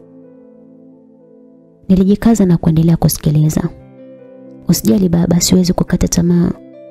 Nilipofikia natoa tu uhai wake, sina hasara naye. Kwa hali ya hasira na maumivu vilivuka kwa pamoja. Na ghafla nikajikuta napiga yowe moja matata sana. Baada ya kupiga wewe nilijishtukia na haraka nikaingia kwenye chumba cha pembeni maana yoe langu pia lilimshtua Tima. Haraka Tima alitoka nje na kwenda kule ambapo sisi tulikaa tukimsubiri. Haujamwona ndugu yako huko maana amekuja kukuangalia. Lucas alimuuliza Tima lakini kabla hajajibu mimi pia niliwasili katika eneo hilo. Nisiwe muongo nilikuwa nikifosi tu furaha maana da. Siku moja nimepokea taarifa za kuumiza sana. Piwa, asante sana mdogo wangu. Mungu aendelee kukubariki. Haujui tu siku yangu ya leo imekuwa nzuri kiasi gani. Alizungumza Tima kisha akanikumbatia. Nilimkumbatia tu kinafiki najua kabisa ajui kama mimi nimeshajua mambo yake yote. Baada ya kunikumbatia mimi kwa muda haraka akamkumbatia Lucas na kumshukuru kama ambavyo alifanya kwangu. Ah, mke mkubwa, kwa nini unanishukuru kama hivyo? Wewe ni mke wangu mkubwa bwana. Kila kitu kutoka kwangu ni haki yako, sawa mama? Alizungumza Lucas pasi na kujua kwamba anapoteza pesa zake kwa kuchezewa michezo tu. Safari ilianza kwa kweli mambo ya kuigiza alianza kunishinda. Nilijikuta nikiwa mnyonge sana na hali hiyo Lucas aliweza kuiona na kuacha kuniuliza. Uko sawa mama? Ah, niko sawa lakini nahisi tu maumivu ya tumbo kwa mbali. Lucas aliachia mkono mmoja na kushika tumbo huku akilipapasa papasa. Ah, nafikiri ni ile chili ambayo ilikuwa kwenye pizza. Halafu ndo umenena. Maana huyu binti leo ile pizza sijui hata alikuwa ameipania. Maana sio kwa kweli kule jamani. Lucas na Timo waliendelea kupiga stori lakini mimi niliamua tu kujifanya kama nimepitiwa na usingizi tu ili nisiweze kuongea kabisa. Mai wangu mkono wake mmoja alinyoosha na kuweka kwangu ili niweze kupata sehemu ya kuegemea ili shonga yangu pia isipate shida. Tulifika nyumbani na kujifanya kwamba nimechoka sana na hii yote ni kwamba nilikuwa na mawazo sana juu ya yale ambayo alikuwa ameongelewa. Mke wangu umechoka sana utadhani wewe ndio ulikuwa ukiogelea jamani. Alizungumza Lucas akaninyanyua na kunipeleka chumbani na hilo lilimuumiza sana Tima. Asubuhi na mapema kwa kuwa ilikuwa ni Jumapili Lucas aliamka na kuniangalia kwa muda kisha akaniamsha. Piwa. Piwa mama. Morning baby. Nilimsalimia Lucas baada ya kufungua macho yangu na kukutana naye uso kwa uso. Achana na morning. Tumbo bado linauma au? Hapana, niko sawa. Okay, naomba nisaidie kitu mke wangu. Najua tumekubaliana tusifanye kitu mpaka tukifunga ndoa. Lakini hali yangu ni tete. Ila mimi na Lucas bwana akili zetu ni kama wajenga vile. Tumeshapeana vya kupeana huko nyuma eti leo hii tangu babangu amerudi. Tumekubaliana kwamba hatutoshiriki tendo mpaka pale tutakapofunga ndoa. Lakini nilitaka kuzungumza jambo ikiwa sehemu ya kuzoga tu maana hata mimi nilimisi sana mwanaume wangu. Lucas hakutaka kunipa nafasi ya kujitetea wala kujieleza. Alichokifanya ni kunibusu na mambo yakaanza. Wala kusema kwamba asubuhi hakunaga kukisi mai zangu labda kwenu tu, lakini kwetu ni shwa shwa. Sijui ni kwa sababu ni muda mrefu hatujafanya mambo hayo. Asubuhi ilikuwa tamu sana. Baada ya kufanya hicho kitu na mai wangu tuliingia bafuni na kuoga na hapo tulibaki kuchekana tu. Hatimaye umevunja utaratibu we mbwa, nilimwambia Lucas. Mimi au wewe? Yaani usiku ulikuwa unanirushia tu kitako chako nimejikaza wewe nikasema ya nini? Ya nini kujitesa na mai wangu niko naye eh? Basi baada ya kumaliza kuoga mimi na mai wangu tukaingia kwenye zoezi la kufanya usafi kwa pamoja. Kwani tulipanga kwenda kwa mama. Tukiwa jikoni alikuja Tima na kutusalimia. Ghafla tu Tima akaanza kukoa mfululizo. Ajabu ni kwamba pua yake kaanza kutiririsha damu. Niliogopa sana haraka nikamwona na kumweka ili aweze kulala chali maana da. Lucas alitumia muda wake kuweza kuzungumza na daktari wa Tima huku akimwomba awahi kufika. Kiukweli nilipofikia nilikuwa sijui kipi ni kipi. Sijui Tima anaumwa kweli ama la, lakini kama haumwi, kwa nini atokwe na damu puani? Ukisikia mtu anaweza kuwa kichaa basi ni mimi, maana nilikuwa sielewi kipi ni kipi. Basi baada ya kama nusu saa hivi daktari wa Tima alifika na kuanza kumhudumia huku akitomba tuweze kutoka nje. Mimi na Lucas tukatoka nje. Lucas aliogopa sana na kutaka kumpigia simu mama lakini nilimzuia. Baada ya kumfanya Lucas atulie maana alisha paniki nilirudi chumbani kwa Tima lakini kwa kunyata sana. Tima unashindwa kuwa mwangalifu ujue. Nilikwambia hiki kidonge unakunywa kimoja tu, ukanywa viwili. Unaona damu zilivyotoka nyingi? Mimi nilidhani ndo watachanganyikiwa na waniache jikoni na kwenda kutafuta msaada, lakini hawajafanya hivyo. Kwa hiyo bado hawajaweka hiyo dawa kwenye chakula. Ndiyo, ila hii ya usingizi ya ile ya piwa naogopa kuweka maana huwa anakula na Lucas. Wewe wawekee tu kisha tutaangalia njia ya kumsaidia Lucas. Kwa hiyo kuna dawa ya kupona? Dawa ipo. Lakini acha nikusaidie kitu. Najua saizi watu wana wasiwasi sana. Kwa hiyo hiyo dawa nitaiweka mwenyewe. Na atakula piwa, niamini mimi. Ndio maana nakupendaga daktari wangu wa mchongo. Unanipenda wakati tunda langu unataka kumpa Lucas tu. Fanya kazi yako bwana, hayo mengine utakuja kuenjoy wewe subiri. Maongezi ya dokta na Tima yalinimaliza nguvu ya mwili na akili. Kwa hiyo bado ni maigizo tu. Niliwaza sababu ni Lucas tu ama kuna kingine jamani. Maana sio kwa hii mipango ya kutaka kunimaliza.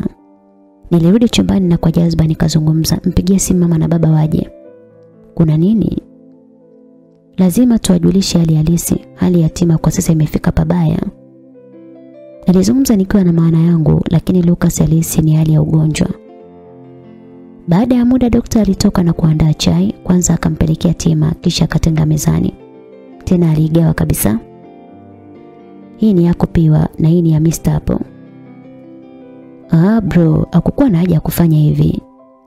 Usijali, hii hali ya kuuguza mgonjwa huwa naielewa hii hali. Kwa naomba kwa leo tu niwahudumie. Nilikiangalia kile chakula changu kisha nikajua kabisa nimeshawekewa madawa mbwa mimi. Baby, hatuwezi kula kwanza. Nilimwambia Lucas makusudi maana mimi na mai wangu tumezoea kula kwenye sahani moja. Ah, kwanza unakulaje haya machili tena? Ngoja. Lucas aliinua kitafunwa changu na kwenda kubadilisha akaja na mayai. Hapo niliona sura ya daktari ilivyobadilika, ni wazi kwamba mpango wake uliharibika. Baada ya kama masaa mawili hivi mama na baba waliwasili lakini pia hawakuwa wenyewe. Walikuwa wameongozana na Neema. Neema alinisogelea na kunikumbatia. Kitendo cha Neema kunikumbatia kilinipa wasiwasi. Kuna muda niliwaza au ndo nimeshakula sumu na ndo nakufa. Maana sio kwa Neema kunichangamkia huku jamani. Karibuni, aliwakaribisha Lucas. Dokta alishangaa kuona kwamba ugeni ni umekuwa wa ghafla. Alitaka kuaga na kuondoka lakini nilimzuia. Uh, Mr. Doctor haina haja wewe kuondoka. Hawa ni wazazi wa Tima. Nafikiri kwa kuwa upo hapa ungewaeleza tu hali ya msichana wao. Kuna nini jamani? Mbona mnaniweka roho juu juu mwenzenu? Mama. Ndio nini jamani eh? Tangu tumetoka kule unasema kwamba unahisi kwamba kuna mambo hayako sawa. Alizungumza Neema kisha akamsogelea mama na kumshika kwa nyuma. Matendo ya Neema pia yalizidi kunichanganya, yani mambo yalikuwa ni mengi sana.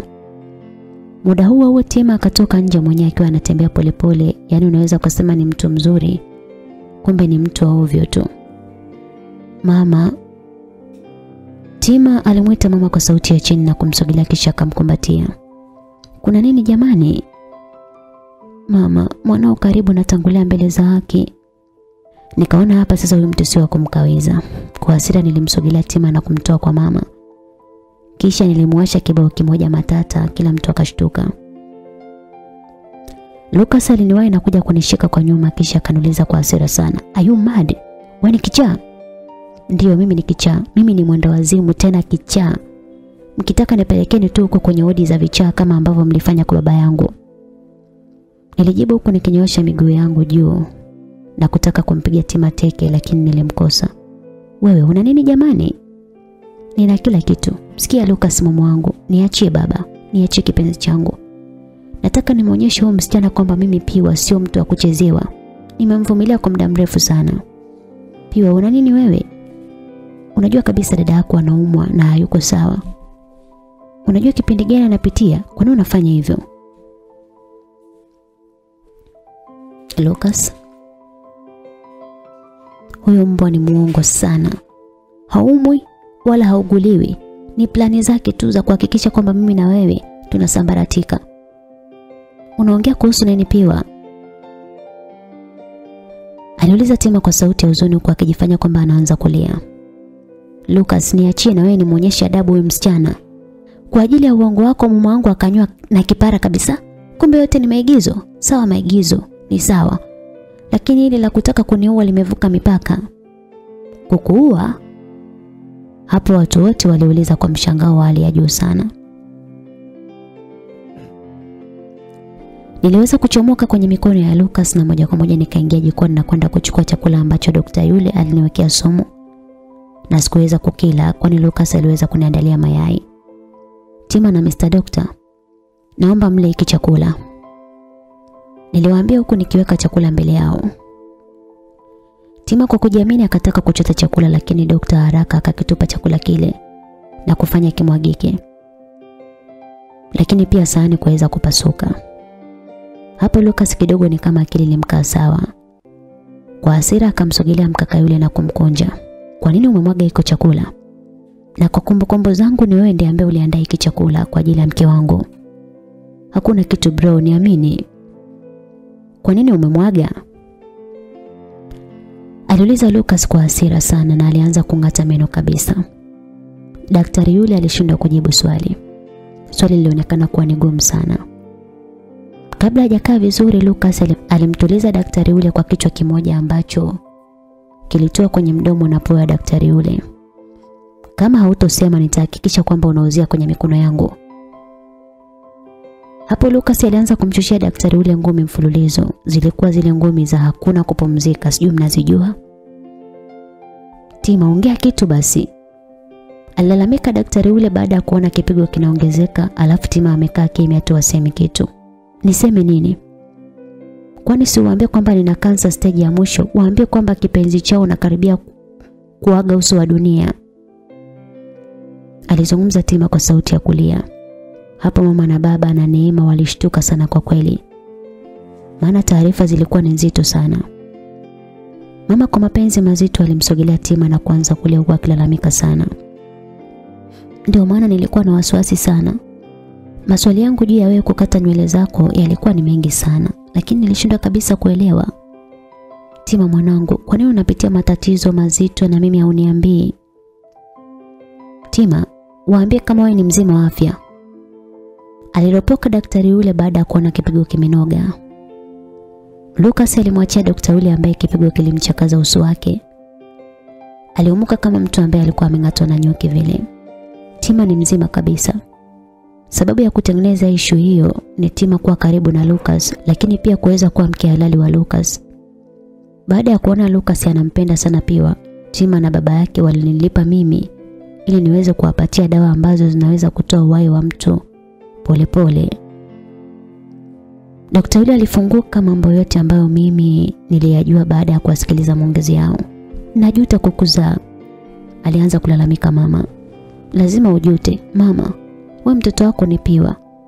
Hujawahi kujali kuhusu hisia zangu. Na wewe Lucas, tangu tunasoma nimejaribu kukuonyesha ni kiasi gani nakupenda, lakini ukaamua kumchagua Piwa. Piwa ni nani? Piwa ana kitu gani special ambacho mimi sina? Piwa ni kama shetani tu, nilitaka apotee kwenye maisha yangu. Maneno ya Tima alikuwa ni uchungu sana, lakini alikosa tu njia nzuri ya kuwasilisha. Akiwa anaendelea kutoa malalamiko yake, alitulizwa na kibao kimoja matata kwenye shavu lake. Bao hilo alikutoka sehemu nyingine bali kwa baba yangu mimi. Sijawahi kukulea hivyo Tima. Ukiachana na hasira na kila kitu, baba yangu ni mtu ambaye sauti ya kufoka ilimpita kabisa. Najua wengi mtaniona mimi ni mkosefu, lakini nilikuwa nikipambania penzi langu. Nimeanza kumpenda Lucas kwa muda mrefu sana. Lakini kwa nini pia achukue nafasi yangu? Sikuwahi kuwa na hisia na wewe Tima. Sikuwahi hata kukufanya kuwa rafiki yangu. Unasemaje kwamba ulinipenda? Kwa nini ulikuwa ukinitetea shuleni? Kwa nini hukupenda kuniona nikiwa mpweke? Kweli wewe msichana ni kichaa.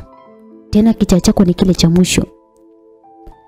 Muda huo huo ilisikika hodi. Haraka nilienda kufungua kwani nakumbuka kwamba nilipiga simu polisi na kuambia kwamba Tima yupo kwangu.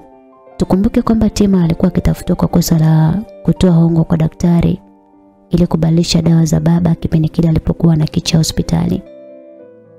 Mama, nisamehe sana. Nilimwambia mama yangu maana najua jambo hilo linamuumiza mno. Mchukueni tu. Alijibu mama mamangu akiona maumivu, lakini ndio hivyo, matendo ya Tima alimchosha sana. Msisahau na huyu ni muuaji. Alizungumza Lucas huku akimpiga teke daktari wa watu ambaye alishachezea kichapo cha kutosha. Polisi walichota chakula ambacho kilimwagika pale chini kwa ajili ya kwenda kufanya sampo ili kujua kama kilikuwa na sumu ama la. Mama yangu alilia sana kwa kweli na Neema alikuwa karibu yake muda wote. Tuende mbele turudi nyuma. Tima ni dada yangu. Hivyo jambo la yeye kukamatwa lilimuuma sana. Lakini pia uwepo wake uraiani ni hatari kwangu. Siku ile ilikuwa ni mbaya sana. Kwa kuwa tulihitajika pia kufika kituo cha polisi kwa ajili ya kufungua jalada, mimi na Lucas tulijiandaa na kwenda kituo cha polisi. Baada ya kila kitu, Tima alionekana kuwa na hatia, lakini pia sio yeye tu na baba yake pia. Kitendo cha Tima kwenda kuungana na baba yake kilileta mabadiliko makubwa sana kwenye maisha ya Tima na kumfanya awe ni msichana wa ovyo sana ambaye utu ulikuwa umemtoka kabisa. Tima na babake walionekana kuwa na matukio mengi sana ambayo yaliwafanya wapatiwe miaka yao kadhaa gerezani. Kwa upendo wetu baada ya kuona kwamba kila kitu kiko sawa, tukaona sasa tunaweza kufunga ndoa. Ukizingatia mama mkwe naye ameshanipokea na tofauti za familia ziliwekwa sawa. Kwa kipindi hicho nilijua kudekezwa na Neema. Kwanza nilideka kama mdogo wake wa baba yangu mkubwa na pia nilideka pia kama wifi yangu pia. Kipindi hicho Mwenyezi Mungu alinijalia kupata ujauzito mwingine. Na mama mkwe akataka tufunge ndoa haraka ili mtoto aweze kuzaliwa tukiwa tumeshafunga ndoa. Maandalizi yalianza na ndoa ikaenda kuandikishwa kanisani na matangazo ya ndoa yakaanza kusomwa kila siku ya Jumapili. Nilikuwa nasikia raha pale tu jina langu linapotajwa na baba paroko na kusema kwamba natarajia kufunga ndoa na Lucas Mwaimba. Kuna muda nilikuwa nawaza nilipotoka mimi na Lucas na kusema kweli sisi ni watu ambao Mwenyezi Mungu alishapanga kwamba tutaishi pamoja milele na milele. Ikiwa tumbakiza wiki moja tu ili mimi na Lucas tuweze kufunga ndoa, tuliweza kupata simu kutoka kanisani ikitutaka sisi kufika kanisani. Bila ajizi mimi na Lucas tulifika kanisani. Ajabu ni kwamba tuliweza kumkuta bosi wa Lucas akiwa na binti yake ambaye ni Sofia. Kwa pamoja tuliingia kwenye chumba cha baba paroko na akutaka kupoteza muda. Akazungumza kitu ambacho kilimfanya atuite. Um, Lucas, unataka kufunga ndoa na Piwa huku ukiwa na mwanamke ambaye ni mjamzito. Kwa nini kijana wangu? Baba paroko alimuuliza Lucas kwa kweli wote tulishtuka maana habari ni mpya. Kwa jazba hali ya juu sana Lucas akauliza, "Mwanamke gani tena baba?" Unataka kumkana Sofia? Lucas, wewe umekuwa mtu wa matukio sana. Nakumbuka mara ya kwanza ulimkimbia Stella mbele ya madhabahu. Sasa hivi unataka kumkimbia Sofia, msichana ambaye anatarajia kuwa mama wa mtoto wako? Hii unaona ni sawa? Kwa upande wangu machozi ndio alikuwa ameshika nafasi, maana niliona kama nimekosa juu ya mikosi tu. Sofia, sema kitu basi, kwa nini umekaa kimya? Alalamika Lucas huku akimwangalia Sofia. Lucas kijana wangu, nilikupenda kuliko maelezo. Ufanyaji wako wa kazi ukanifanya ni kuamini mno na kukupa vyeo. Sikuwahi kutarajia kama kuna siku utakuja kumfanya binti yangu kuwa mchepuko wako huku ukimpa hadi nyingi lakini pia kutaka kumtelekeza akiwa na ujuzi wako. Mm, hapo mambo yalianza kuzunguka kichwani mwangu. Nilikumbuka kuna kipindi ukaribu wa Lucas na Sofu ulikuwa umechechamaa sana. Wanapigiana simu mpaka usiku tena video call. Lakini pia Lucas hakuacha kumsifia Sophie na kusema kwamba ni, ni binti mchangamfu sana na mtu mwenye moyo safi. Muda wote nilikuwa kimya nikiamini kwamba Lucas wangu ananiona mimi tu na hawezi kudata na mwanamke mwingine. Kumbe nilikuwa najidanganya Lucas ananichiti jamani. Jamani mimi sina mahusiano na Sophie. Ah, kutokana na hili Lucas ndoa yako na Piwa itapigwa pozi mpaka pale ukweli utakapopatikana. Na hapo ndipo niliamini kwamba mimi nina mkosi msikilizaji. Yaani mkosi jumlisha mkosi. Yaani ndio inasimamishwa wiki moja kabla kweli. Niliinuka nikiwa na maumivu makali sana moyoni mwangu na kuondoka. Nilifika nje ya kanisa nikapanda pikipiki ambayo moja kwa moja iliniongoza kufika nyumbani kwa mama yangu. Nilifika na kumkuta mamangu akiwa na fundi wake na alikuwa akipima nguo yake ya harusi ambayo alishona kwa ajili ya kuja kuvaa siku ya harusi yangu. Shikamoo mama. Nilisalimia na kuweka tabasamu la uongo ili tu ule fundi asiweze kujua nini kinaendelea. Eh mwana, unahangaika wewe haya? Alikwambia uanze kuturura ni nani jamani wewe? Wiki ya mwisho ya harusi wangu tulia bwana usije ukaharibu mambo. Mama nawe kuna mambo ya muhimu sana nimefata kisha naondoka. Nilienda nyumbani kwetu nikiwa na hasira na nilipanga kwamba sirudi tena kwa Lucas. Lakini kwa furaha ambayo nilimkuta nao mama yangu sikuweza kabisa kuzungumza leo moyoni mwangu. Mama aliendelea kuenjoy na kufurahi pale. Aliimba kila aina ya nyimbo na kucheza. Hakuacha kunisifia kwamba binti yake nimeweza kumheshimisha. Baada ya muda mfupi Lucas aliweza kufika nyumbani akiwa amelewana jicho mwili mzima kutokana na wasiwasi ambao alikuwa nao. Kwa jazba ambayo alikuwa nayo nilimwahi na kumkumbatia nikiogopa kwamba asije akaanza kulalamika mbele ya mama yangu na kuharibu mambo. cheki unavyotoka jasho mume wangu jamani. Kwani hisia ya gari bado ni mbovu? Nilimuuliza kwa kuzuga tu. Baada ya maongezi hapa na pale mimi na Lucas tulipanda kwenye gari na safari ya kurudi nyumbani kwetu ilianza. Piwa. Niache Lucas. Hapo alinyamaza kabisa na kufanya kimya kutawala katika safari yetu. Tulifika nyumbani moja kwa moja nikaingia ndani na kujitupia kwenye kochi. Mke wangu. Hizo mke wangu zimekuwa nyingi mno Lucas nikuulize. Mimi na Sofia ni nani mke wako? Maswali gani hayo? Siku zote umekuwa chaguo langu la kwanza. Siku zote umekuwa ni wewe tu Piwa. Kwa nini kwenye ile unapoteza imani na mimi jamani mama? Kwa sababu umebadilika baada ya kupata pesa. Unajua mimi nilikuwa mjinga sana eh. Niliamini kwamba hakuna mwanamke atakuja kati yetu, ndio maana ukaribu wako na Sofi haukunipa shida. Ila kwa sasa naona kabisa ni ujinga wangu. Usiseme hivyo Piwa please. Umewahi kufanya mapenzi na Sofi? Nilimuuliza Lucas kwa msisitizo kabisa ili kama anaweza basi afunguke. Sijawahi hata siku moja, Piwa mimi mwenyewe sielewi. Sophie hakuwahi kunionyesha kunihitaji wala kunitamani. Na nilimchukulia kama dada yangu kwa jinsi ambavyo baba yake ananipenda na kunithamini kama mtoto wake.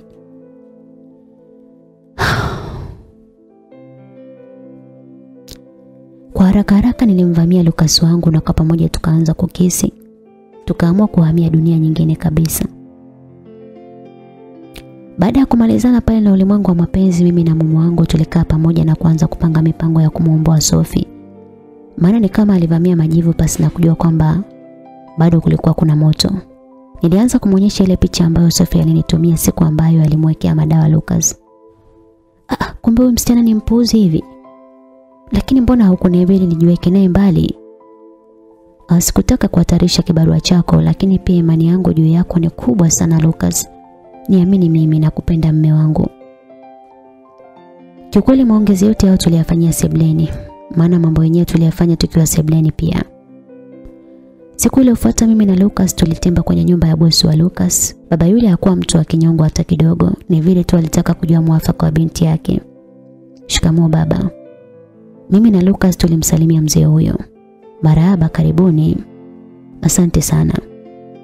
Lucas alijibu kisha kwa pamoja tukakaa kwenye makochi. Aa, naona mmekuja muda ambao watu hawapo. Mdada wa kazi na mama wameenda sokoni hivyo kitu ambacho naweza kuwapa sasa hivi ni maji ya kunywa tu ndugu zangu. Alizungumza mzee huyu ambaye busara ilionekana kuwa vizuri sana kichwani mwake. Baba bwana usijali tuko vizuri. Kwa kuwa umesema mimi sina neno, eh niambie. Lukas wangu alisafisha koo lake kisha akaanza kuzungumza. Ah baba, najua kuna mengi yanaendelea kwa sasa. Kwanza kabisa niombe radhi kwa haya ambayo yametokea. Najua wewe ni baba na kama ni baba basi najua utafanya chochote kwa ajili ya kuhakikisha kwamba binti yako mambo yake yanaenda sawa. Ni kweli, ni kweli kabisa. Uh, baba, kwa upande wangu naweza kusema kwamba sikuwahi kuwa na mahusiano na Sofi. Sikuwahi kushia naye chochote. Na kama kuna kitu nimefanya kwenye mwili wa Sofi ni kumkumbatia tu tena mbele za watu. Uh, ni sawa lakini pointi yako ni nini Lucas? Kwanza kabisa naomba kuuliza hii namba ya simu ni ya nani? Aliuliza Lucas kisha akachukua simu yangu na kumonyesha mzee yule. Mzee wa watu aliangalia kwenye simu yake kama kuna namba kama hiyo kisha akajibu. Ah, ni namba ya dada wa kazi ambao ilipoteaga. Ah, namba hii ipo baba na kuna mtu anatumia. Mzee wa watu akaanza kuipigia namba mfululizo lakini haikuwa ikiita. Lucas mwanangu, hii namba haipo kwa sasa, kwani ina shida gani? Uh, siku ambayo nilipata shida kule Dodoma, namba hiyo ilimpigia mke wangu na kumtumia picha ambayo ilionyesha mimi kuwa faraga na mtu. Unatania, si ndio? Sitanii baba. Muda huo huo mama mwenye nyumba na mdada wake wa kazi waliwasili. Eh, mwanaume rijali, eh, umekuja kufanya nini? Mama mzazi wa Sofia alianza maneno yake na alionekana kuwa ni mwanamke mwenye dharau sana. Ah, waifu, usianze sawa. Dada hapa, hebu njoo mara moja. Hicho mnachoongea na mimi nataka kusikia. Nataka kujua mwafaka wa binti yangu, sawa? uh, utulivu unahitajika mke wangu sawa. Mdomo mimi na Lucas tulitulia kama maji mtongini maana mambo ni mazito hivyo utulivu ulihitajika sana. Simu yako ile ya kwanza ilipotea siku gani? Yule baba alimuuliza dada yake wa kazi. Ah, ilipotea siku ambayo mimi na dada Sophie tulienda kufanya shopping. Ile shopping ambayo alisafiri kwenda Dodoma au? Ndiyo baba. Unaweza kwenda. Baba yule alikuwa mtulivu mno, alichokifanya ni kutoomba tubaki tu pale nyumbani mpaka Sophie akirudi. Majira ya saa kumi jioni Sophie alirudi akiwa na shoga yake. Wenyewe walikuwa wakipiga stori na kucheka sana. Furaha ya Sophie ilikatika pale tu alipotoona mimi na Lucas. Dadi, hawa watu wanafanya nini? Nimesema nipo tayari kuwa single mama kuliko kuwa na mwanaume kama huyu ambaye hajui maana ya utu. Hajaja hapa kwa ajili ya kusuluhisha jambo lako. Ameleta barua yako ya kituo cha polisi kwa kosa la kumlewesha Mr. Lucas kwa madawa ambayo yaliweka maisha yake hatarini. Alizungumza mzee huyo na kutufanya mimi na Lucas kuwa makini sana. Muda huo mama wa familia alikuwa chumbani kwake na hakuweza kukaa na sisi. Dadi, hauwezi kuwa serious. Huwezi kunifanyia hivyo. Unamaanisha nini? Baba, hauwezi kuniweka hatarini binti yako. Baba, unaweza ukafanya kitu, si ndio? Baba, mimi ni princess wako na, ul na ulisema kwamba princess anastahili kupata kila anachohitaji. Hitaji langu sasa hivi ni Lucas na nitampata, hakuna kitu mtanifanya. Kwa hiyo ni wende ambaye uliniwekea madawa. Lucas alimuuliza Sophie kwa hasira huku akiwa amemwinukia kabisa. Lucas, naomba unisikilize. You know ni jinsi gani nakupenda. Lucas, wende umekuwa ukinifanya niwe na amani na furaha. Wewe ndio umekuwa ukinionyesha kunijali, please usinifanyie hivyo. Kuna nini? Mbona mnamliza princess wangu? Mama mjengo kama kawaida alikuja na kuanza kukoropoka tu. Sophie alimsogelea mamake na kumkumbatia kwa akilia sana. Lucas baba, nafikiri tutaongea kwa sasa hivi naomba tu mnipe space. Alizungumza ule mzee. Lakini baba alitaka kuzungumza Lucas jambo lakini nilimzuia kisha tukaaga na kuondoka. Siku iliyofuata tuliitwa kanisani na kuambiwa kwamba ndoa yetu iko pale pale. Mzee yule ambaye ni baba yake na sofi alizungumza na sisi na kusisitiza kwamba tumsamehe binti yake. Maana itakuwa naibu aibu kwa tajiri kama yule kupata skendo kupitia binti yake. Ikiwa ni siku ya Ijumaa usiku mmoja kabla ya ndoa yangu nikiwa nyumbani kwetu mwenyewe nina furaha ya kutosha nasubiri kuvaa tushela. Eh, we binti ulali. Na laje mama na huo mziki huko nje bwana. Wacha nyodo binti yangu. Unajifanya upende mziki wakati unatamani kutoka kwenda kucheza. mama bwana. Baba yako huko nje ni anajichekesha tu, amelewa. Alafu sasa vile kucheza ajui, amekuwa kama kituko mwenzangu. Mwache babangu afurahi bwana. Ni kweli? Muda huo huo alikuja mama Lucas akiwa amelewa jasho mwili mzima kwa ajili ya kucheza mziki. Mkwe wangu, nisamee mimi mkwe wako mpumbavu. Nilichelewa kujua piwa wangu na kupenda, unajua kunipa raha ujue wewe binti. Hapo nilicheka na kusema kwamba kweli pombe sio chai jamani. Hatimaye ni Jumamosi, siku ya mimi na Lucas kufunga pingu za maisha. Sikio ni Neema alisimama kama dada yangu, alinisaidia kila kitu na kunifanya nimkumbuke Tima. Nilienda saloni na kweli nilipendeza mno. Majira ya saa mchana safari ya kwenda kanisani ilianza. Tukiwa kwenye foleni upande wetu tukisubiri sekunde kadhaa tukaruhusiwa kupita, lakini upande wa gari yetu ambao tulikuwa tumepanda ilikuja gari moja kasi sana na kupushi gari yetu. Mkubwa ni Mungu tu, gari yetu haikupanduka wala nini, zaidi ilibonyea upande ambao iligongwa. Mimi na mama yangu pia hatukuumia. Ajabu sasa gari ambayo ilitugonga ilirudi nyuma na kutaka kutugonga kwa mara ya pili. Na hapo nilifanikiwa kuiona sura ya Sophie nikasema kifo hiki hapa. Lakini kabla gari ya Sophie haijatufikia ilikuja gari kubwa ambayo ilionekana kufaili breki na ikampitia Sophie na kumburuza sana. Niliogopa mno. Lakini pia sikusema kwamba ile gari ni la Sophie, niliamua tu kukaa kimya. Tulifika kanisani mbele ya kanisa alikuwa Lucas na familia yake mwenyewe alikuwa ametulia akinisubiri. Baba na mama yangu walinisogeza polepole mpaka ilipo familia ya Lucas wakanikabidhisha pale na wao wakarudi kwenye siti zao. Hatimaye misa ya ndoa ilianza na nikavikwa pete ya ndoa na padri akatangaza kwamba mimi na Lucas ni mke na mume. Furaha zilikuwa za kutosha. Muda Lucas alikuwa akimwangalia bosi wake lakini hakumwona. Bosi ameshindwa kuhudhuria. Alizungumza Lucas kwa huzuni. Muda huo huo simu ya Lucas iliita na mpambe kama mpambe shemu wangu Mudi alimpatia simu Lucas kwani bosi ndo alikuwa akipiga. Halo. Alizungumza Lucas baada ya kupokea simu. Baada ya muda Lucas alitoa simu na kusogea karibu na kiti akakaa akiwa amechoka sana. Kuna nini jamani, mbona unatutisha tena? aliuliza Mudi. Uh, Sophie amefariki kwa ajali leo. Nilitamani kusema jambo lakini nikaamua kunyamaza tu. Nisije nikaonekana kama mshahidi bure. Siku hiyo tuliamua kuiahirisha tafrija ambayo tuliandaa usiku.